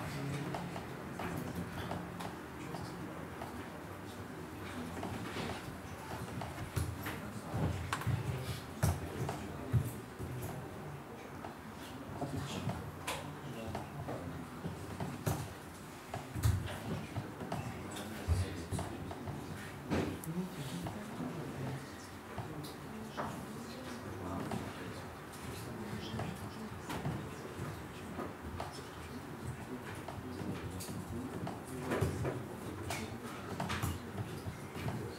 Во, отлично. Окно логина, мой профиль в игре. На самом деле, наверное, надо было бы сделать не так, а вот так.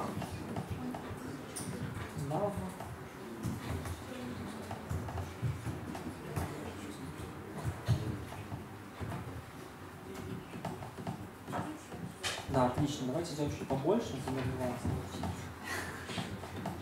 Все, шик. Магия. Ем, но это единица измерения в CSS. Оно равно, не, оно не в пикселях, оно относительно, ме- меряется относительно э, размера шрифта текущего. То есть э, мы не верстальщики, поэтому я, вас CSS не учу, но вы сами можете про это прочитать. На самом деле единиц измерения в CSS их э, что-то около 15, то есть даже я не все помню, но M среди них есть. А, так вот, что мы в итоге сделали? Пока всем понятно, да? А, таким образом, что нам нужно сделать, чтобы добавить новый пункт? Нужно сделать всего две вещи. А, добавить сюда новый элемент и здесь новый кусочек HTML кода. То есть не придется переписывать приложение, у нас оно вот так написано динамически, что автоматически все остальное само произойдет. Кажется, что это очень круто. А нам используют в проекте обязательно? Что именно? Ну, именно такой подход. То есть мы можем шаблон использовать? Можем шаблон. Но я просто показываю, как это работает. А вопросы насчет шаблонов спросите у метода. А это же все будет на гите. Это уже на. Вот. А домашнее задание, что это значит? Чуть-чуть попозже я расскажу про домашнее задание. А, ну что ж, а, продолжаем наше занятие. А, мы изучили один аспект работы браузеров, а именно то, как браузеры взаимодействуют с дом-деревом и как можно создавать и взаимодействовать, ну, создавать пользовательский интерфейс и обрабатывать события, которые возникают. Но веб-приложения были бы не веб-приложениями, если бы не было такой называемой работы, собственно, с самим вебом, то есть работа с сетью. Запросы, передача данных, все это такое, это тоже очень важная вещь, и поэтому она у нас на самой первой лекции, потому что без этого вообще никакой дальнейшей работы вести нельзя. А, а, все веб-приложения работают по протоколу HTTP. По протоколу HTTP, протокол передачи гипертекста, протокол прикладного уровня, бла-бла-бла, передачи данных. В настоящий момент используется для передачи произвольных данных из браузера на сервер и обратно. HTTP это текстовый протокол, ну, по крайней мере, версии протокола до HTTP 2. А об HTTP 2 поговорим чуть-чуть позднее. И поэтому, собственно, запросы ответы HTTP, они, по сути, являются просто обычным текстом, который имеет специальный формат. А, как это происходит? Так как веб-приложение это клиент серверного приложения, то инициатором всех запросов всегда является клиент. Это очень важно понимать, потому что от этого зависит, это накладывает определенные ограничения на возможности веб-приложений, прям такие, э, прям жесткие. Инициатором HTTP запросов всегда является клиент, всегда являетесь вы, браузер, программист, который пишет JS-код. А нельзя как-то так сделать, чтобы с сервера отправить запрос на клиент. Такого вот не существует. И это накладывает определенные ограничения, нужно думать с учетом этой концепции. А, как вообще работает HTTP? Есть две сущности, HTTP запрос и HTTP ответ. HTTP запрос это то, что отсылает браузер на веб-сервис. Веб-сервис его принимает, парсит, обрабатывает и отвечает на него с помощью HTTP ответа. И передает какие-то данные или что-то там нужное. А, Как выглядит HTTP запрос? Это прям э, первый вопрос на собеседовании, скажем так. Вот э, как работает HTTP? HTTP запрос. А, Есть так называемая стартовая строка, обязательно в любом запросе. Она имеет четко определенный формат.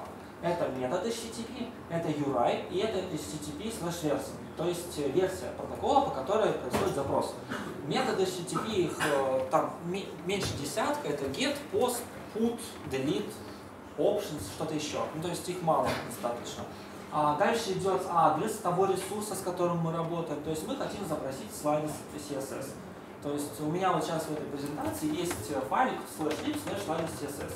Собственно, когда браузер его запрашивает, он делает такой запрос. И HTTP slash 1.1 это версия протокола, по которой происходит передача данных. Есть HTTP 0.9, есть HTTP 1.0, есть HTTP 1.1, есть HTTP 2. В общем, разные версии по- по-разному работают. Мы сейчас будем говорить о версиях ниже второй, то есть об HTTP 1.1. А также в запросе, помимо стартовой строки, всегда присутствуют какие-либо за- заголовки. То есть, э, например, заголовок хост – это тот адрес, который сейчас открыт браузер. То есть, э, вот у меня хост, ну не совсем такой, но если вы откроете эту презентацию в интернете, то хост будет точно такой же. И поэтому э, в любом запросе с этого сайта будет передан такой заголовок. Это прям обязательное требование, которое прописано в спецификации работы браузера, условно говоря. Есть заголовок Content Type, Content Length, еще масса заголовков. Некоторые из них имеют специальное назначение, некоторые из них можно установить самостоятельно, то есть какие-то кастомные заголовки. В общем, заголовки содержат метаинформацию в запросе. И после заголовков идет обязательно пустая строка и тело запроса. Оно опциональное, например, в get запросах тела нет. Можно отправить пост-запрос без тела, можно отправить пост-запрос с телом. То есть тело запроса, оно опциональное, но оно всегда, оно как бы тоже может быть. Вот, надо понимать. В ответ на запрос веб-сервис присылает нам HTTP ответ. Э, Первая строка HTTP ответа выглядит тоже фиксированным образом. Это обязательно версия протокола. Это обязательно ответ, то есть э, 200 код ответа. И это фраза, ну как бы текстовый код ответа, окей, 200 ок. Есть масса кодов ответа, например, 200, 201, 300, 301, 302, 400, какие-то 500 коды, есть код 101. То есть кодов ответа масса, на самом деле их там, там 50, наверное, даже больше. Все они имеют какие-то фиксированные значения, семантику. И можно их почитать на Википедии и использовать, когда нужно. 200 ок это означает то, что запрос завершен э, успешно. Если это, допустим, ответ 400, 400 bad request, это значит, то, что запрос был с какими-то невалидными данными, и сервер его не стал обрабатывать. Например, 500, bad- 500, ответ 500, это значит то, что у нас запрос совершился с ошибкой, то есть э, сервер упал и вернул нам 500. 404 всем вам знакомы, ну и масса других ответов, собственно, они тоже имеют место быть. В ответе может присутствовать в том числе заголовки тоже, то есть заголовки бывают в запросе, заголовки бывают в ответе. И может присутствовать тело ответа, тоже опционально. То есть если это get запрос, ну, если это какой-то запрос, в котором нет тела ответа, то здесь ничего не будет. Если тело ответа присутствует, то оно будет перечислено здесь. Это теория, которую нужно знать всем, абсолютно всем, без этого ну, вообще вы никто. По поводу версии, а, насколько это новое то, что они нас отличаются при запросе при ответе? Ну это как бы это просто пример. Если мы отправили, например, если мы отправили запрос по протоколу HTTP 1.0, но на самом деле, э, HTTP 1.1, например, да, но сервер не поддерживает этот протокол и отправляет HTTP 1.0. Это значит то, что он будет дальше общаться по этому протоколу. Такие ситуации есть, но нас, как разработчиков, на самом деле это волнует чуть в меньшей степени. Обычно всю эту логику реализует браузер самостоятельно, а нам доступны лишь тело ответа, заголовки, статус, вот такие вот вещи. Вот.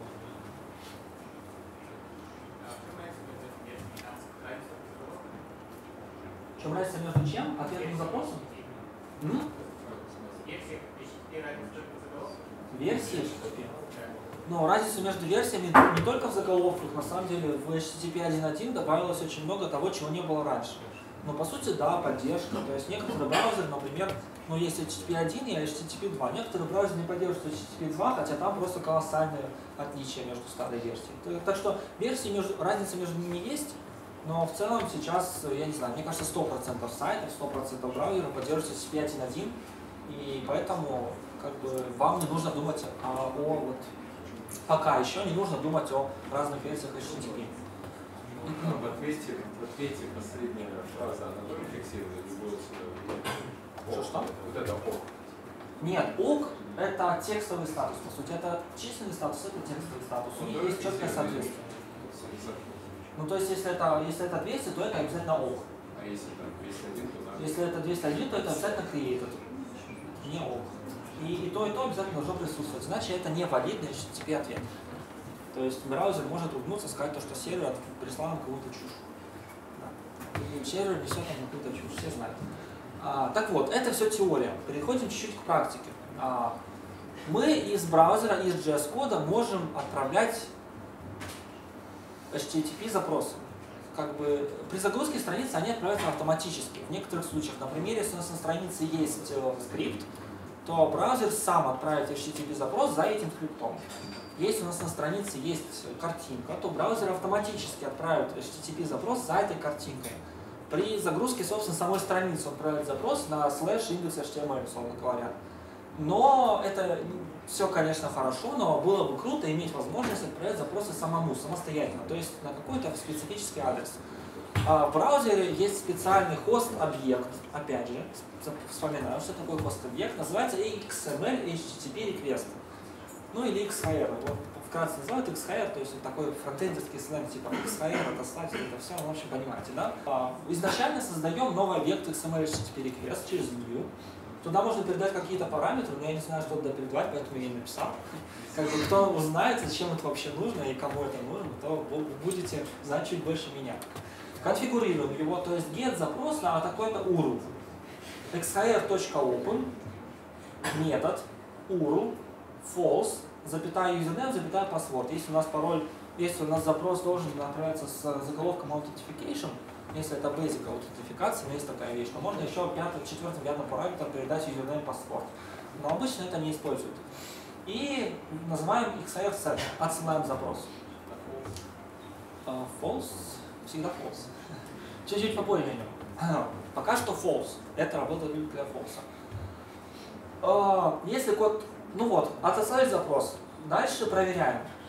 Если XHR статус не 200, там, если он 200, то это, значит, то это означает то, что нет никакой ошибки, что запрос завершился успешно, и мы можем в xhr.response-text получить строку с ответом сервера. Вот, собственно, XHR статус есть XHR статус текст, то есть это 200, это ок. Если у нас э, статус не 200, то мы можем вывести в консоль по ошибке. Давайте возьмем и проверим работу. Откроем консольку, да а, копируем весь этот текст прямо вот из слайда. Вставляем, нажимаем Enter. А, это это ничего страшного. Можно сделать вот так. Все, нет ошибок. А копируем это, вставляем ссылку и видим, что все круто. Ответ от сервера 200 ок, а, и вот нам response текст вернулся, это какой-то CSS текст, который, собственно, есть у нас на сайте. Все, мы отправили запрос, поздравляем. А... О, господи, закроем.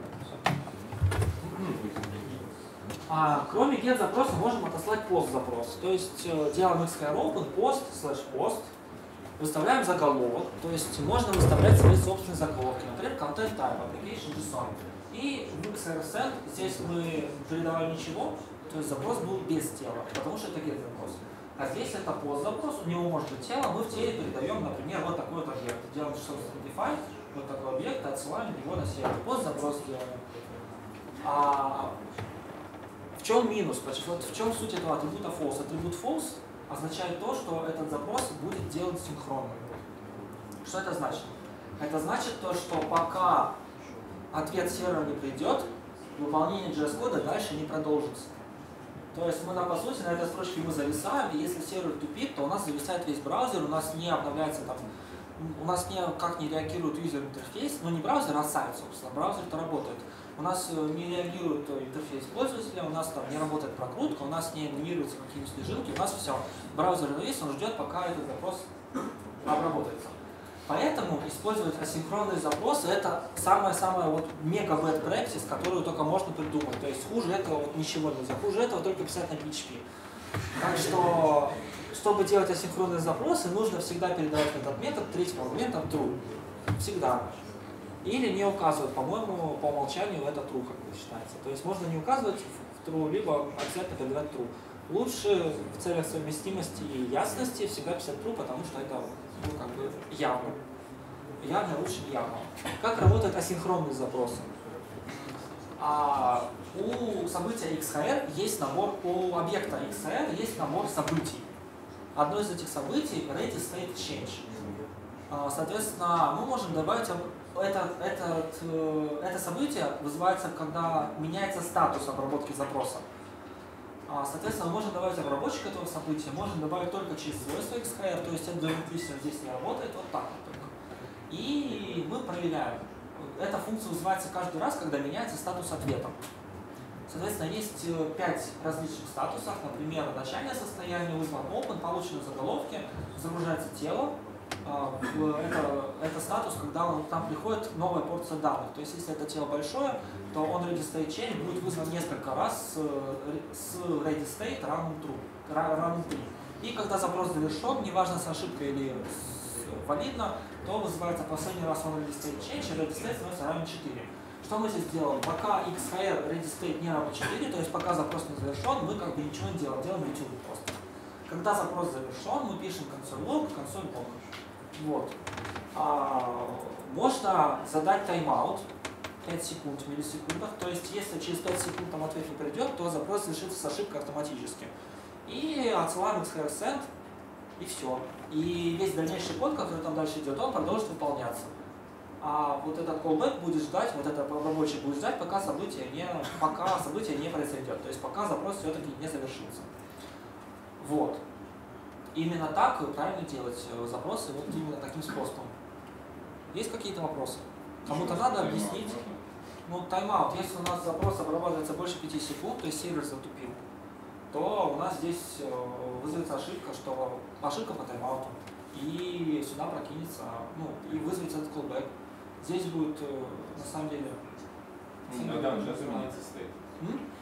Его состояние на четверку. Да, его состояние, изменится на четверку, не будет статуса, не будет статус текста, как бы там будет немного другая история, с ним, э, с этой вещью а, надо будет обработать не так, как правильно. То есть это не совсем правильный обработчик. Здесь не учитывается именно вот этот способ, когда тайм-аут.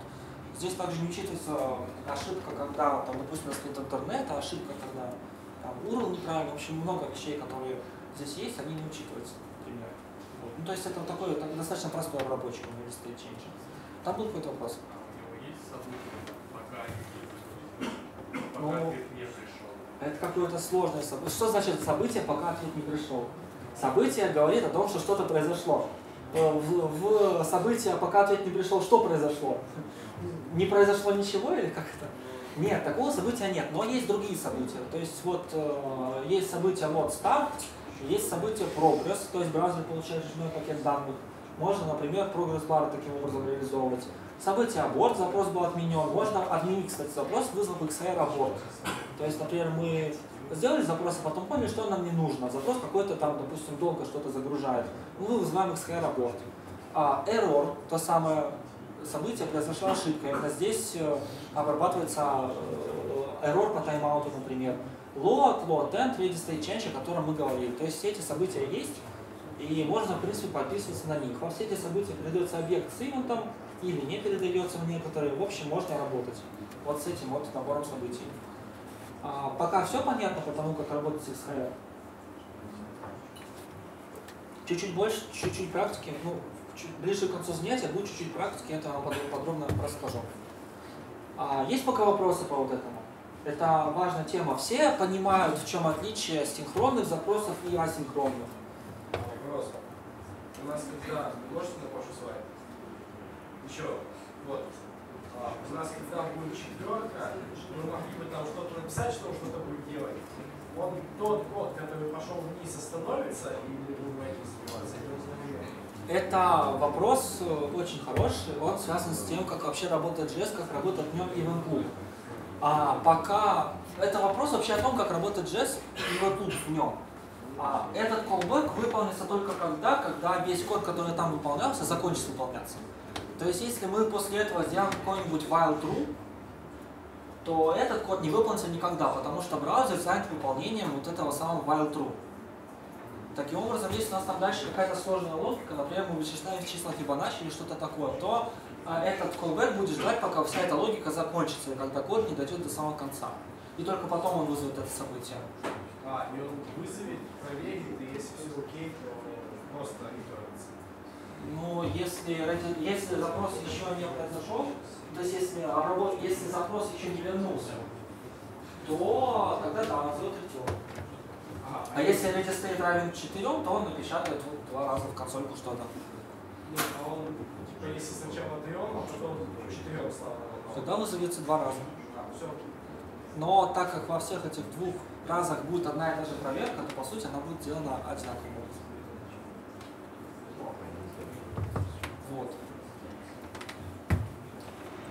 Э, Еще раз спрашиваю, все понимают, в чем разница между синхронными и асинхронными запросами? Это, это, скажем так, концептуальный момент, связанный именно с пониманием JavaScript. Если это сейчас не осознать, то потом будут у вас как бы проблемы и с пониманием, ну, на рубеже контроля, разумеется. Вот, это вопрос э, как бы для всех, всех касается, не только фронтендеров, потому что эта история в целом как бы в программировании встречается много где в других местах. Так что наши отсутствующие джависты будут очень сильно огорчены, когда мы у них это будем спрашивать. Вот. Двигаемся дальше. На самом деле, сейчас я расскажу про такую вещь, как куки. Что такое куки? Кто знает, что такое куки? Да, очень который хранятся Кто там? Вот еще там были варианты. Ну Что, больше никто не знает? Печеньки, да, это печеньки, ура, все любят печеньки, все любят кокосовые печеньки, все любят другие печеньки. В общем, куки это печеньки. Но так как мы фронтендеры, то для нас куки это не только печеньки, это вот, как правильно сказали, а, не совсем файлики, но нечто другое. По сути, куки это очень простая вещь. Для полного понимания куки достаточно знать э, три слова. Три, на самом деле, слова. То есть э, мне об этом сказали на лекции по фронтенду где-то ближе к концу семестра, тогда была эта лекция, стояла ближе к концу семестра. А, Чуть больше года назад Артем Мезин, тот, кто был до меня моим преподавателем. И после этого я понял, что я теперь... И вот после той лекции я сказал то, что я знаю, что такое куки, потому что до этого я не знал этого на самом деле. Так вот, куки это очень простая штука. Э, Так, ладно. Куки это всего лишь текст. Важно понимать, что куки это всего лишь текст, это всего лишь HTTP заголовок. То есть это не какие-то файлики, где хранятся на клиенте. Это не что-то там, это заголовок, это HTTP заголовок. И это вот прям ключевой момент, который, который, осознание которого, э, скажем так, ведет к тому, что вы поймете, как они работают. Зачем они были придуманы?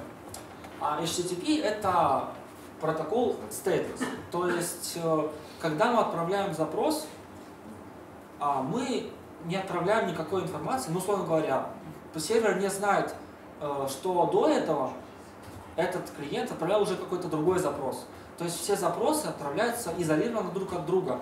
И сервер как бы ну, не может понять, ага, вот этот запрос это от клиента, который уже там что-то нам присылал, а это запрос от клиента, который нам ничего не присылал. То есть он не хранит состояние, и по сути каждый запрос-ответ, они друг от друга ин- инкапсулированы. Поэтому если мы делаем, скажем так, э, хотим запросить, допустим, у нас есть две картинки на сервере, и мы хотим по get slash image запросить сначала одну картинку, потом другую, то сервер не узнает, что мы уже одну картинку запрашивали. Ему надо будет в запросе как-то это указать, как-то это либо в теле запроса передать, либо в адресе запроса, либо в каком-то заголовке, но как-то в явном виде. Никакого стейта с HTTP запросом не передается. А, сейчас речь не о Keep Alive. Там тоже как бы Keep Alive это такая штука, которая позволяет э, отправить запрос по уже открытому TCP соединению. Это никак не связано с HTTP, это работает на более низком уровне. На более низком уровне модели оси. И веб-сервер не знает о том, что это соединение было открыто с Keep Alive на самом деле. Вот. То есть э, никакой разницы ему нету. И веб-сервер не хранит информацию о том, ну, как окей, Keep Alive, но был ли по этому Keep Alive раньше соединение или нет, непонятно. Вот о чем речь. Как бы можно, конечно, написать какой-то ассемблерный код, который прям, ну не ассемблер, а низкоуровневый, который прям будет следить за TCP сокетами, но все равно, если у нас Life оборвется, допустим, мы въехали в метро, а потом выехали, все, все наши системы накроются. Поэтому ориентироваться и надеяться только на Life нельзя. Так вот, а, чтобы как-то уведомить сервер о том, то, что мы уже, допустим, делали этот запрос, или, допустим, мы чем-то там обладаем, допустим, мы авторизованы, или что мы загружали уже эту картинку, э, существует на самом деле масса способов. Можно эту информацию, например, в теле запроса передать, можно передать в заголовке, а можно передать с помощью кук. Так вот, что такое куки? Куки это небольшой фрагмент данных, отправленный в веб-сервере, хранимый на компьютере пользователя. То есть это заголовок, который браузер обрабатывает определенным образом. Если все другие заголовки браузер как бы, ну он их парсит и окей, отдает JS, то вот этот заголовок он сохраняет еще и у себя в какой-то там памяти, ну в виде файлика, но на самом деле там не важно как, просто хранит у себя. И веб-клиент, обычно браузер, а каждый раз при попытке открыть страницу соответствующего сайта, смотрит, не сохранены ли для этого сайта вот эти куки, если сохранены, то и он их отправляет в заголовке в запросе. То есть они приходят в заголовке ответа с сервера, браузер их у себя сохранит, при следующем запросе он их достает и отправляет обратно на сервер. Как это выглядит? А, ну это спецификация, то есть браузер может, должен хранить как минимум 4 килобайта кук, то есть на каждый сайт должно быть 4 килобайта точно. То есть э, больше 4 там уже от браузера к браузеру есть, но ровно 4 обязательно. Минимум 20 штук на домен, то есть э, на любом домене минимум можно только 20, минимум 20 штук, меньше нельзя, больше можно. Минимум 300 штук всего. То есть, чувствуете, 300 штук это всего кук. Это обязательно. То есть браузер если мы ему хотим, допустим, 301 куку закинуть, то он какую-то самую нулевую, самую раннюю возьмет и просто удалит. А так как у нас сколько сайтов? У нас много сайтов, у каждого из них много кук, то это как бы такая весьма интересная тема. То есть мы можем просто установить кук какую-то, а какая-то левая кука где-нибудь там вообще удалится вот из-за этого ограничения. То есть на самом деле куки это такой достаточно тоже не, не очень надежный механизм, но в целом в, мы будем использовать именно его, потому что заморачивать как-то слишком сильно это ну, не, не, в данном, не, в, не в текущем курсе, я думаю. И именно кук не чувствительный к регистру. То есть куки в uppercase, куки в lowercase это все одно и то же. Как это выглядит в HTTP? А, клиент отсылает на сервер запрос. Get slash host example. Сервер присылает клиенту ответ 200 лог и присылает заголовок set cookie. Name равно value а браузер спарсит это name равно value, сохраняет у себя в памяти, и на следующий запрос, когда мы обновили страницу, он пересылает, присылает запрос уже с заголовком куки, name равно value. То есть было так, мы получили куку, и теперь мы в каждом запросе отправим эту куку. Соответственно, браузер, ну, сервер может распарсить запрос, увидеть то, что кука есть, и, допустим, отдать ему какую-то другую страницу, например. То есть понять, что этот клиент уже с нами взаимодействует, у него уже есть эта кука. И клиент, допустим, сервер может отослать на клиент новый запрос узнать какую-то другую куку, например, name равно value 2. Соответственно, первая кука перетрет второй кукой. А, нет вопросов? Двигаемся дальше. Да, в одном запросе можно сразу несколько кук задать, соответственно, браузер при, в одном ответе. В одном, соответственно, браузер при запросе а все эти куки отошлет как бы, если мы задаем сначала, допустим, name 1, допустим, name 1 равно value 1, а потом name 2 равно value 2, то name 1 наверное никуда не исчезает. То есть куки не удаляются. Куки нельзя удалить с помощью такого заголовка, ну, кроме специальных, скажем так, хакерских способов, о них чуть позже. Так вот, где они используются? Так как они позволяют уведомить сервер о том, что мы владеем какой-то информацией или о том, что мы уже там, запрашивали этот ресурс, то они используются вот для таких вещей так как они хран... самое важное в куках в том, что они хранятся, когда мы закроем браузер, то есть это их ключевая особенность. Поэтому мы можем хранить, поэтому куки могут использовать для хранения данных между сессиями пользователя. Где это может найти применение? Например, в аутентификации. Самый распространенный кейс это хранение данных, допустим, какого-то какой-то идентификатора сессии, чтобы каждый раз при открытии контакта нам не приходилось логиниться заново, а контакт уже знал то, что мы залогинены. Например, хранение настроек пользователя. Раньше, когда были интернет-магазины, они хранили свою корзину просто в куках, и поэтому, когда мы закрывали интернет-магазин, а потом его снова открывали, у нас корзина отображалась как бы заполнена на то состояние. Это было раньше. Сейчас для этого используются другие способы. Отслеживание сеанса сессии. Вот, то есть э, пользователь может не авторизовываться у нас на сайте, но мы, допустим, хотим знать, что это именно тот пользователь. Например, показывать ему рекламу определенную. Или не показывать одну и ту же рекламу дважды. Поэтому мы просто выставляем какой-то айдишник сессии, и при каждом запросе мы просто знаем, ага, вот этот клиент с айдишником 72. Что, как его имя и что это за email мы не знаем, но мы знаем то, что это один и тот же клиент, и тот клиент, который заходил к нам, допустим, вчера и видел рекламу о котятах. Вот, проведение экспериментов есть такая вещь, то есть когда в зависимости от куки а, приложение ведет себя по-разному. Например,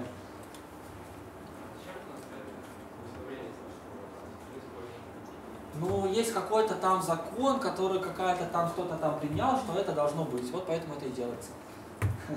Ну, то есть это никак не связано с протоколом HTTP, это бюрократические игры. Браузера 300 штук, он все отправляет на сервер? А, нет. Если, да, если на сайт выставлено 300 кук, то он их все отправит на сервер да. То есть все куки, которые выставлены на этот сайт, отправляются на сервер полностью. Соответственно, если куки, там, допустим, хранят какой-то большой данный, например, все 4 килобайта кук заняты, то они все будут каждый раз отправляться на каждый запрос. Соответственно, это вот одно из ограничений кук, ну, один из отрицательных моментов. То есть сайт не может не отправлять пользователя? Не может. Это поведение это поведение, оно заложено в браузере, и мы со стороны JavaScript никак не можем его контролировать. Вот. Но можем вести дополнительно. А? Можем вести дополнительно. А со стороны браузера с ограничениями можем, да, но там тоже со звездочкой. Есть способы, я чуть попозже о них. Если я знаю чью Как что, что? если я узнаю чью куклу из другого компа, отправлю ее, то он будет думать, что это один А ты разве об этом не знал, раз задаешь такой вопрос? Я даже, я даже знаю, как, что ты знаешь, как это называется. Нет. Об этом тоже чуть позже. А, так вот, а, самая важная вещь, которую надо вынести из вот этого вот. Мы, как фронтендеры, ну как бы, возможно, у других э, фронтенд-разработчиков это еще другое мнение, ну и в зависимости от специфики проектов это может меняться, но в большинстве случаев, как минимум в ваших проектах, вы, как фронтенд-разработчики, никак не должны обрабатывать куки. То есть вообще, по сути, должны писать свой код, как будто бы вы о них не знаете. Куки — это история чисто серверная. То есть сервер ставит куку, браузер автоматически ее отправляет, сервер ее считывает. То есть есть, конечно, способы из JavaScript эту куку обновить, эту куку прочитать, но вы не должны этого делать, потому что by design таких ситуаций не должно просто возникать. Вы должны проектировать ваше приложение так, чтобы необходимости в этом не возникало. Вот это очень важный момент. А как, например, нам написать то, что это какой-то такой юзер? То есть он зашел... Делаем запрос, HTTP запрос через XHR за какой-нибудь ресурс, допустим, get my name и сервер нам возвращает ваше имя, если вы авторизованы. Если не авторизованы, возвращает 401. То есть вот именно в таком ключе должно работать ваше приложение. Вы не должны как-то ориентироваться на куки, вы должны отправить запрос на сервер, а уже сервер, в зависимости от кук, отвечает либо вашим логином и паролем, либо пишет 401 unauthorized, либо какой-нибудь другой там ответ пишет, возвращает ошибку. Вот, но это делает сервер, а вы уже вот именно этот ответ сервера обрабатываете у себя на приложении. Потому что, почему это так? Допустим, ладно, у нас хранится кука с именем пользователя, и мы читаем эту куку у себя на компьютере и, допустим, заполняем формочку. А, допустим, с другого компьютера этот пользователь, допустим, сменил свое имя. И поэтому на сервере, на самом деле, у этого пользователя имя другое. А мы прочитали это имя с куки, которое уже месяц назад было поставлено, и отобразили пользователю непонятный контент, неправильный. Куки устаревают, и поэтому важно всегда получать самые свежие данные с сервера, а не из кук. Вот. А почему я вам это рассказываю? Как бы говорю, типа, не используйте, но надо об этом знать. Потому что преподаватели Java, как это не прискорбно, об этом вам не рассказывают. И они скажут, что работа с аутентификацией, это берем Spring и там какой-нибудь get session. А как работает этот get session внутри, что он внутри себя делает и как он вообще устроен, никто из вас не знает. Раньше эта лекция была почти под конец семестра, потому что это была там, там была специальная лекция про HTTP, про HTTP2, я про это рассказывал. Но возникали проблемы с пониманием того, как должна работать авторизация, все писали какие-то костыли, кто-то передавал логин и пароль в URL, это вообще страшная смерть. То есть, то есть это еще хуже, чем писать на PHP. То есть, то есть вот, писать на PHP это максимальная степень хужести, а вот передавать логин и пароль в URL это, это еще хуже. То есть вот вообще зашкварно, просто сразу же чисто такого человека, если увижу. А, вот. Это был вопрос о том, как работает авторизация. В самом простом случае через куки. Вы заходите на сайт, вы вводите логин и пароль, нажимаете кнопочку «Войти логин», допустим. В браузер, ну, код, ваш JS-код отсылает специальный запрос на сервер, сервер валидирует логин и пароль и в ответе выставляет куку вам. И в следующий раз, когда вы заходите на сайт, вы уже отправите запрос с этой кукой, и вам не требуется входить.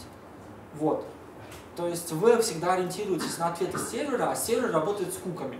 Вы куки не трогаете. Понятно это все? А если утащить эту куку на другой комп и ее можно будет использовать? Уже задавали такой вопрос, я об этом чуть-чуть позже, вот буквально на следующем слайде. А если я выхожу с сайта? А, при нажатии на кнопочку «Выход», по идее, вы отсылаете на сервер запрос slash logout. И сервер в ответе эту куку удаляет.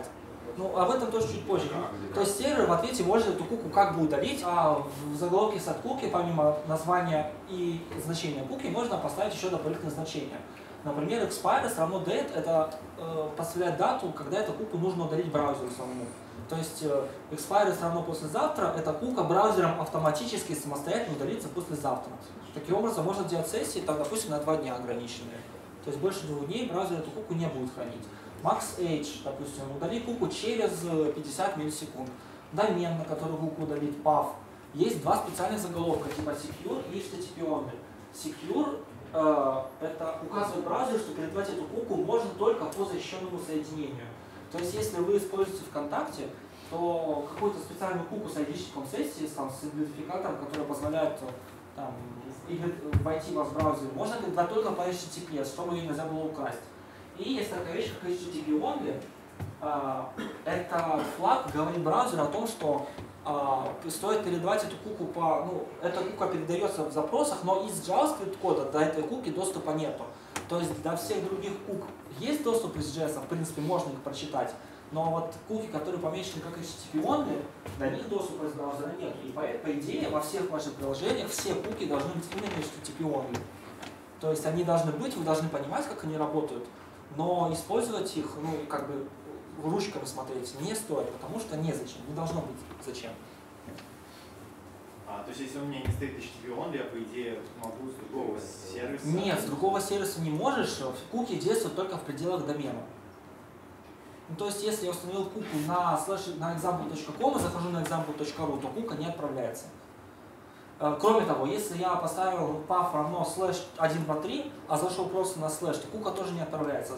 Сравнивается домен и path. Ответ на этот вопрос? Да. А подмите это не Что, что значит подмить? Да, вот, если мы используем HTTP соединение, то нельзя. По HTTP нельзя, по HTTP можно, потому что HTTP не защищенный. Поэтому куки есть вот такие вот secure. По идее, мы не secure кукам не должны доверять. По идее, у нас вообще не должно быть HTTP сайтов, все ваши сайты должны быть HTTPS обязательно. Но на Heroku как бы по умолчанию это включено. Что-что? На Heroku они автоматически настроены. Это раз. Два, есть такая штука, как Let's Encrypt, которая позволяет им бесплатно выпустить. Вот. Ну, собственно, да.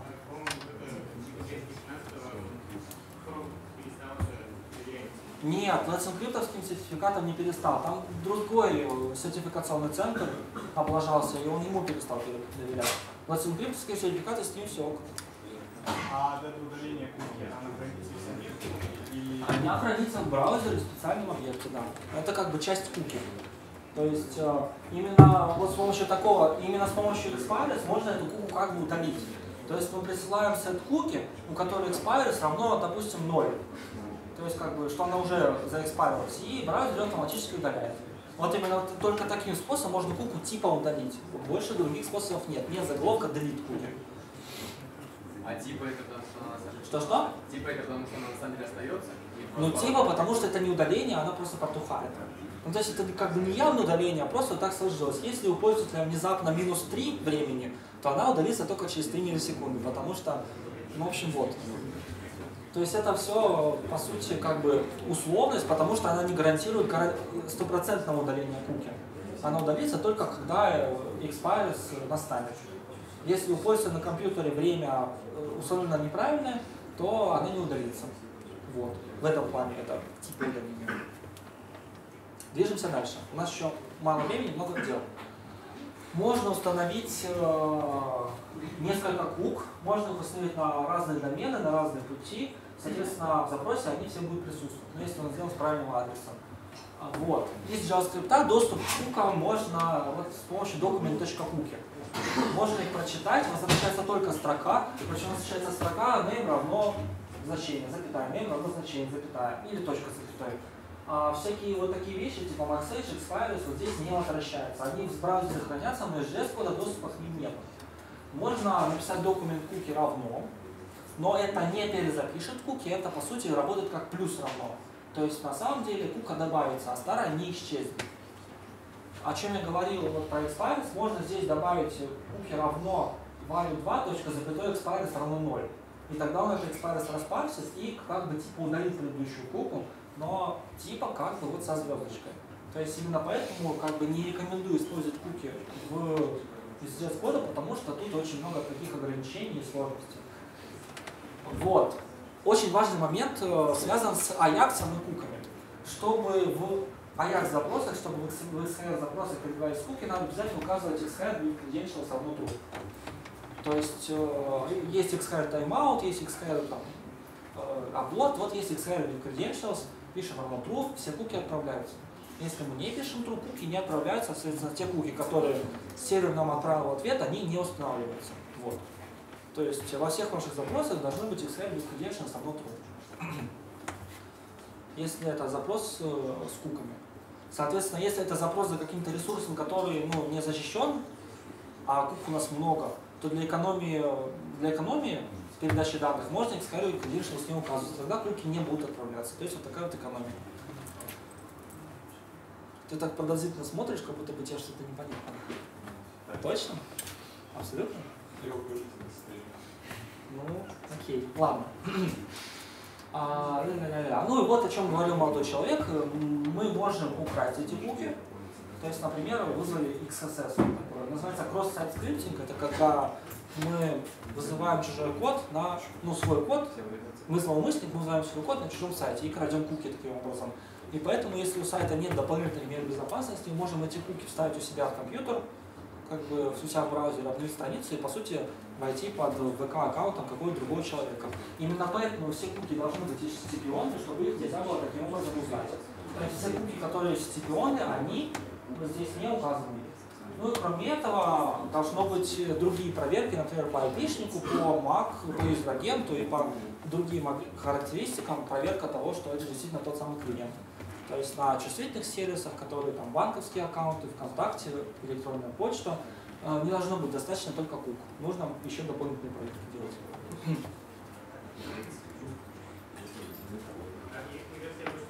А можно громче, пожалуйста? Слушайте, а вам вообще слышно то, что я вам там говорю? Точно? А то были отзывы, что как бы тихо слишком. Но надеюсь, что громко. Вопрос. Что значит вручную прописать? Запрос? Нет. Мы не можем... Есть... Да, я понял, в чем вопрос. Есть, э, как я и говорил, в XHR э, такая вещь, как Center Cascade. Так вот, некоторые заголовки, например, куки, хосты, феры, таким образом перезаписать нельзя. То есть э, куки, они защищены браузером, и мы не можем их редактировать именно куки, которые отправляются. Я правильно понял о чем-то? Да, а ну, такие пакеты, которые в не отправляются, через какие-то серваки проходят, и эти серваки же подменяют. Мы, мы не можем как-то так тоже сделать. HTTPS. Через серваки проходит шифрованный текст, мы его не можем расшифровать. Вот. Чувствуете, да, как безопасно связано со всем? Я ответил на твой вопрос? Отлично.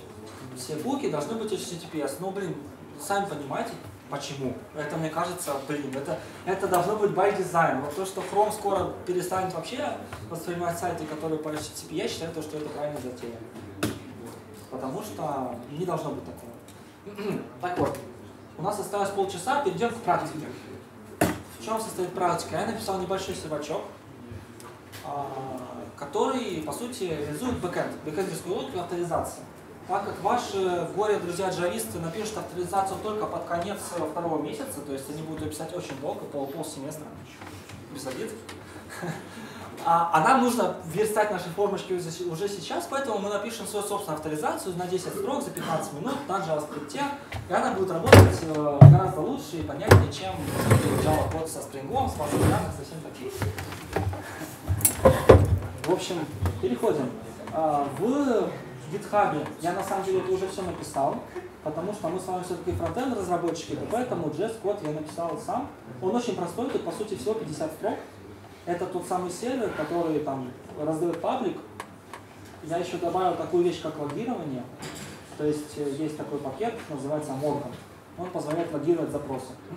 И две вещи, как body parser и cookie parser. Эти две, скажем так, библиотечки парсят тело запросов JSON, а и куки тоже в объект парсят. И можно их использовать. Добавил два метода, обработчики на два метода, post slash auth и get slash me. На post slash auth мы присылаем JSON с username и email, он нас сохраняет, выставляет куку с айдишником. На get slash me мы просто делаем запрос, и он в зависимости от куки присылает нам либо наш, наш, наш э, логин и пароль, либо 401, если куки нет. Очень просто. А конспорт процессор в порт 3000, все то же самое, что было на прошлом семестре. Вот, код этих функций очень простой, очень понятный, то есть я думаю, у вас не будет никаких проблем с ним. Как он называется, подворот. Все понятно. Мы же фронтендеры, мы должны с подворотом идти. Вот, с me проверяет наличие куки подворот. Если, если она есть, то мы и берем, в общем, делаем какой-то код, бла-бла-бла, в общем, не суть. Это все серверный код, вы его можете дома, ну или у себя на компьютерах сейчас чуть поподробнее посмотреть. Суть не в нем, суть в том, как с ним работать из браузера. Вот мы запустили сервер, localhost 3000, все как было раньше. И вот наш собственный localhost 3000, обновляем страничку. Видим красивое логирование, то есть get, slash, статус ответа, сколько заняло, 10 миллисекунд, все красивенько. Прекрасно, превосходно. А у нас есть окно логина. Как вы понимаете, теперь мы должны вместо вот на обработчике IT отправить запрос на страницу. А, на, на сервер и в зависимости от ответа как-то что-то менять. Собственно, давайте это и сделаем. Открываем main.js и пишем. Пишем такую вещь. Так, это мы свернем. Пишем function out. Что она принимает? Она принимает username, email, user name и email. И еще принимает callback. Что такое callback? Это функция, которая будет вызвана, когда запрос вернется. Так как у нас запросы асинхронные, то мы для того, чтобы дать понять, что функция, что запрос завершился, передаем в наш out специальную функцию, которую нужно вызвать, когда этот запрос завершится. Соответственно, в этой функции уже будет обработана логика обработки этого запроса. Ну, сейчас покажу подробно. Создаем xhr, а, делаем xhr а, with credentials равно true,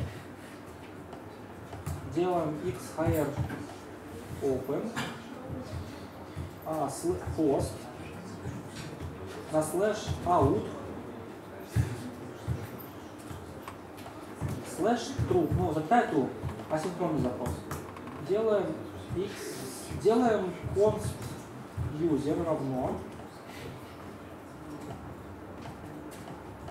делаем const body равно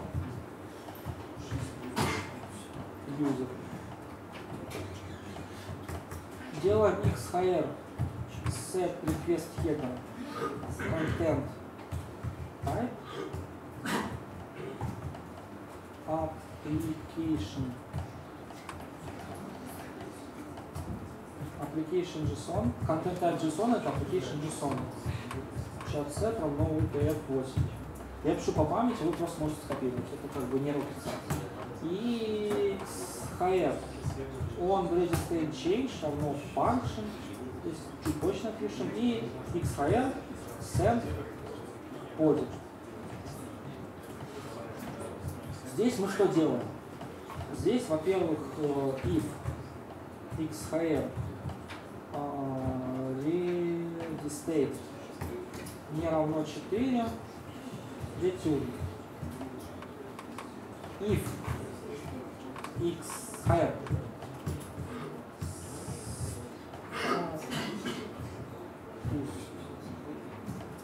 не равно 200, так, 200. Если такого ответа нет 200, то это значит, то, что произошла какая-то ошибка. М? 4 это ready state.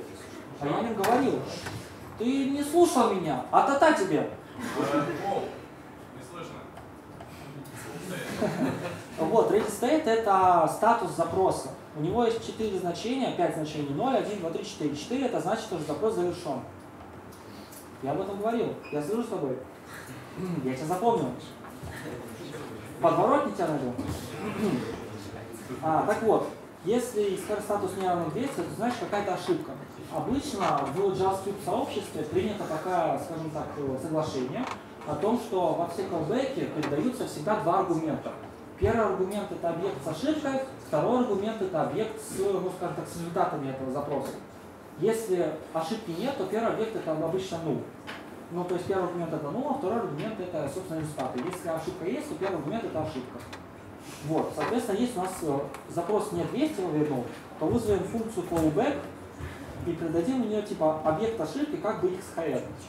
А второй аргумент null. То есть у нас э, ничего не произошло. Делаем return.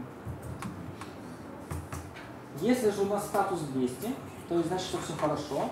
Получаем request равно JSON parse xhr response text. Вот. То есть у нас в ответе вернется JSON, мы его парсим и получаем объект. Response. Вот. И вызываем callback. В первый момент берем null, потому что ошибки нет, и во втором аргументе response. Вот, мы написали out. Понятно, даже, да? То есть, по сути, просто искать запрос. Как его вызываем? Давайте не здесь, давайте здесь. Давайте в обработчике, в обработчике сабмита это вызовем. То есть out.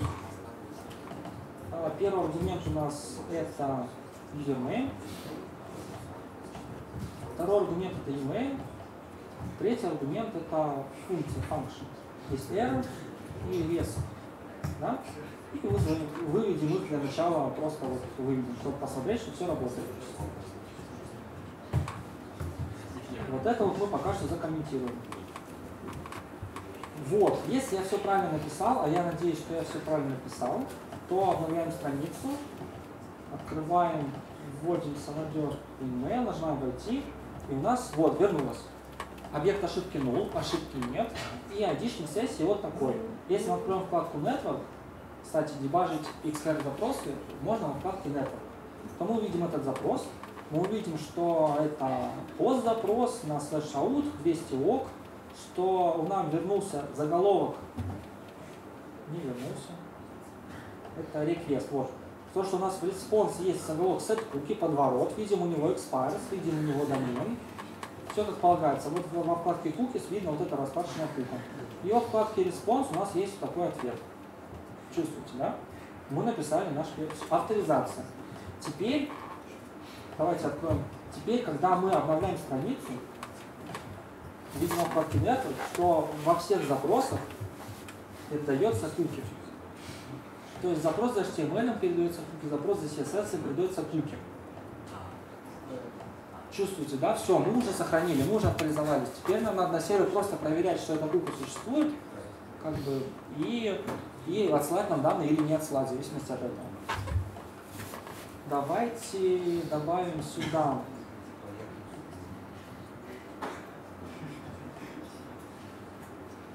Давайте добавим сюда проверку. if error alert, допустим, error, давайте так.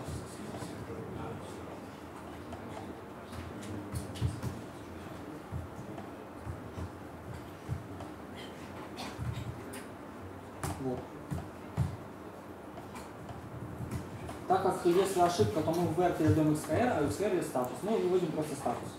Если у нас все хорошо, то мы, допустим, то мы возьмем и форму просто сделаем в с этим. Логин форм, точка, set. Да? Отлично. А можете поднять скорость, пожалуйста?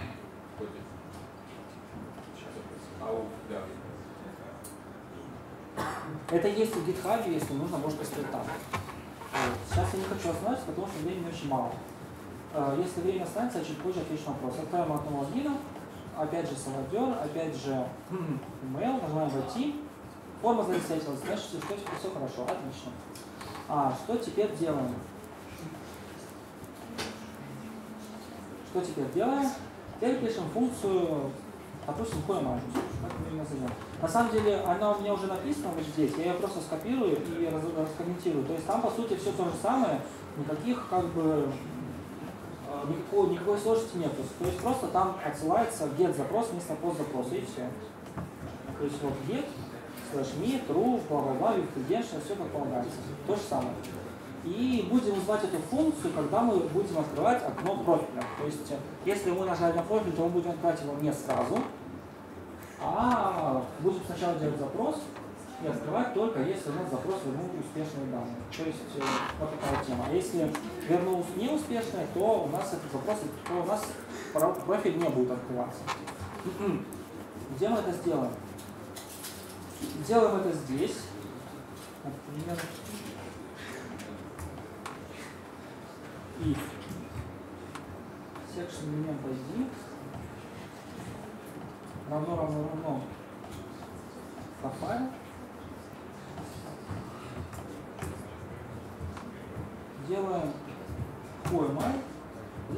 функцию L yes да?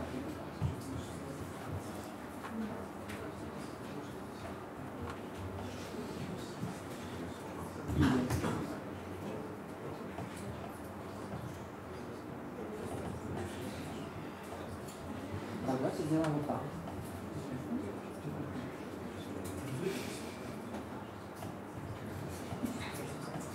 Ставим это сюда. Затем берем, свернем. И тогда у нас будет вот такая тема. Вот, запрос за QMI. Если вернулась ошибка, то вводим alert. Если же все хорошо, то мы делаем вот это вот добро. И section элемент. Yes. Yes.username. И смотрите, я сделал такую штуку на сервере, что на каждый запрос slash me у нас есть переменный аккаунт, который увеличивается на единицу. Вот просто, просто увеличивается. То есть это типа наша игра. Чем больше ты обновишь страницу, тем больше кликер. Короче, я написал кликер. Я прям полностью выполнил свои требования, я могу, уже могу получить тройку за свой курс. Но я и так всегда мог, как бы, но теперь я точно могу. И у меня есть такой специальный div, count div. Текст, контент. Равно count, да? И если я все написал правильно, если, то сейчас при обновлении страницы, отлично, смотрите, у меня была сохранена, о, о, так, проблема. Я успел заметить. Понять, почему. А что случилось? А вот, случилось. Почему? Не что,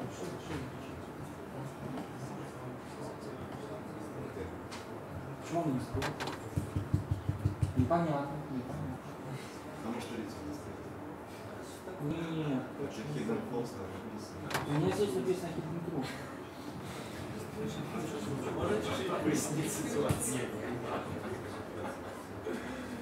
Нельзя. Это тройка не сроков.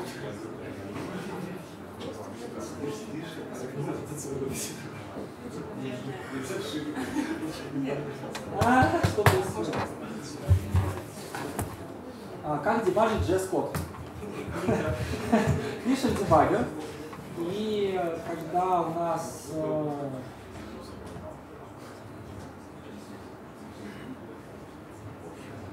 нажмем, когда у нас возникает ошибка, файл. Отлично. Откроем окно логина. Логин скрываем.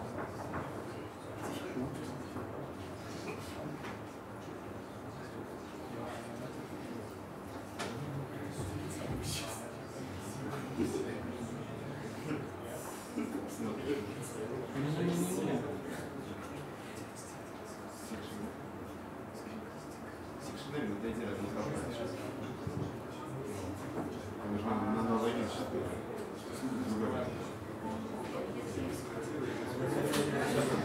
Точно. Да-да-да. У нас же этот код выполняется каждый раз. Поэтому, да, я его неправильно, я его впихнул вот э, в цикл, который скрывает элементы. А по идее его надо было впихнуть выше, в обработчик клика. Вот оно что. Да?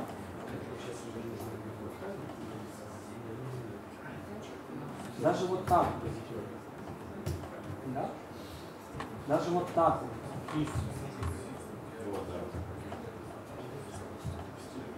Чувствуешь, да, как, или как легко запутаться в своем же коде. Если section ID равно профайл, то мы, во-первых, скрываем все элементы. Да? Отлично. Все, теперь обновляем страницу.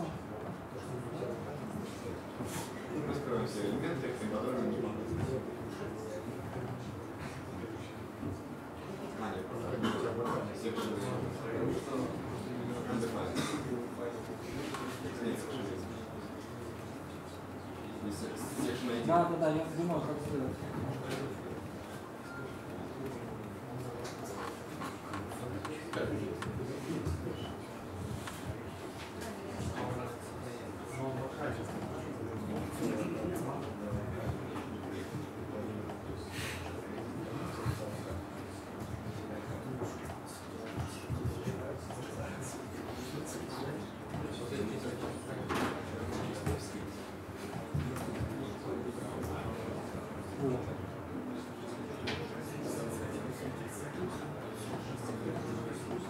Вот. Отлично, работает.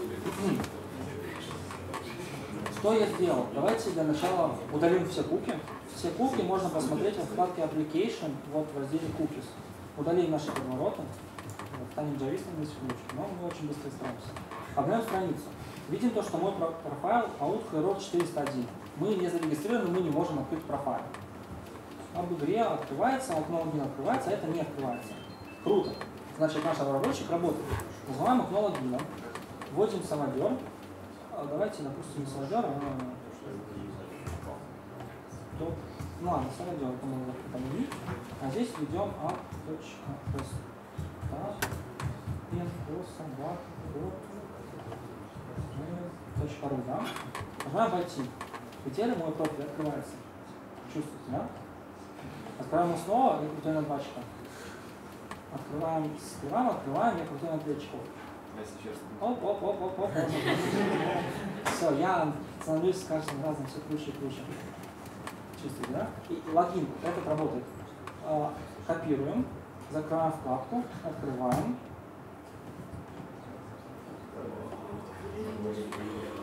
Закрываем браузер, да. Завершить. Открываем.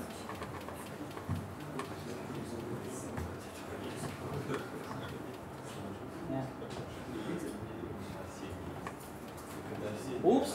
Работает. А, вот работает. Просто чуть-чуть зависло. Вот, вы сделали актуализацию, и у нас сейчас осталось 10 минут на вопросы-ответы. Где он сохраняет функи? Ну, где-то там сейчас сохраняет. Это, еще раз, а, вас, по идее, не должно вас волновать вопрос, где он их сохраняет и как это работает. Это все обрабатывает браузер. А?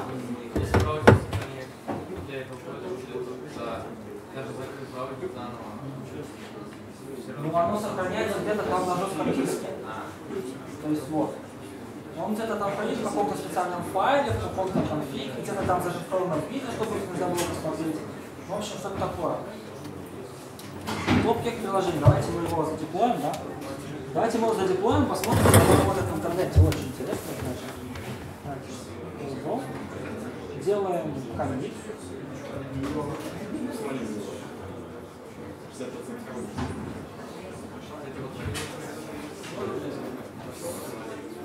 А, я же не пришел, да? Да.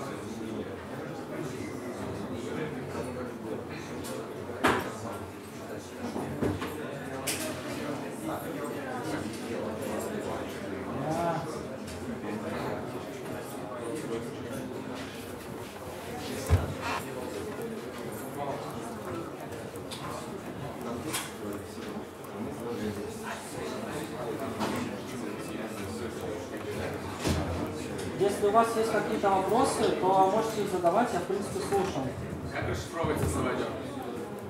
Это долгая история. Это никак не расшифровывается на самом деле, это просто мой ник, он вот так с детства, еще с 9 класса, в общем, я его везде использую, так что... М. Так, git push мы сделали, делаем git checkout, да? Настя.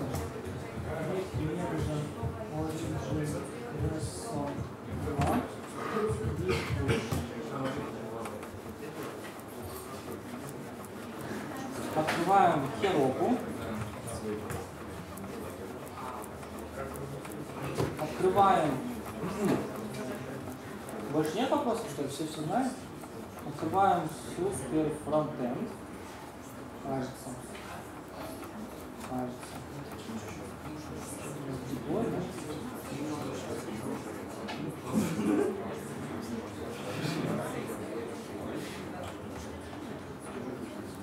Здравствуйте.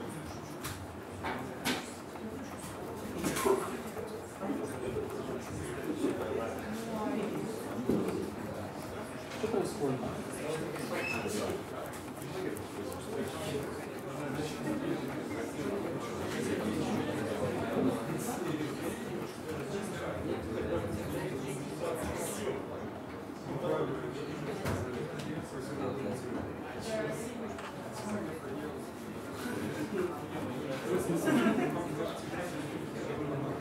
Правда? Что происходит? а?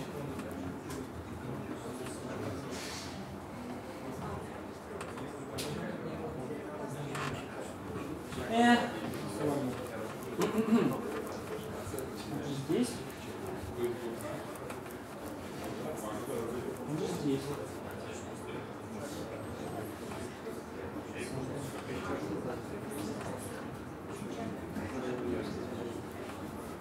О, конечно. И деплой раньше.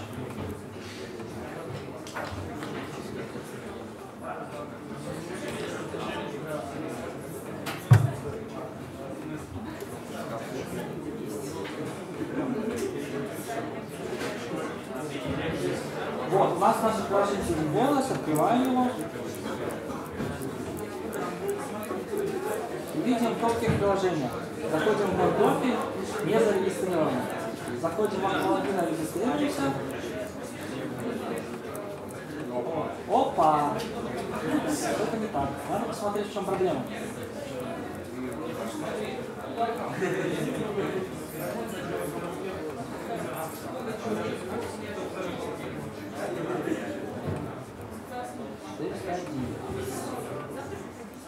А, точно, смотрите, в чем проблема. Я вспомнил. У меня здесь сервер, у меня здесь паук, указан домен. Не то. Мы его удалим, передеплоим все.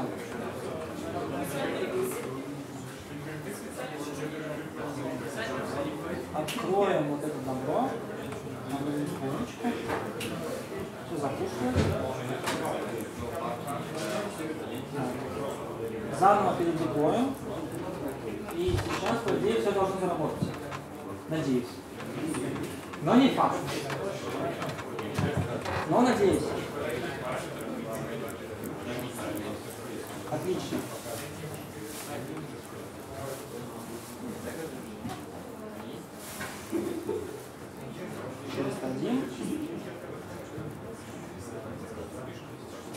Ура! Кстати, смотрите, помните на локалхосте, в чем разница? Смотрите, localhost. Нажимаем его профиль, и тут почти не мигает. Почему это происходит? Потому что чип скрывается, но запрос очень быстро отрабатывает. А здесь мигание уже заметно глазу, потому что мы все-таки здесь делаем запрос в интернет, и он чуть-чуть дольше. То есть чувствуете разницу, да? В общем, вот э, как бы. Все работает!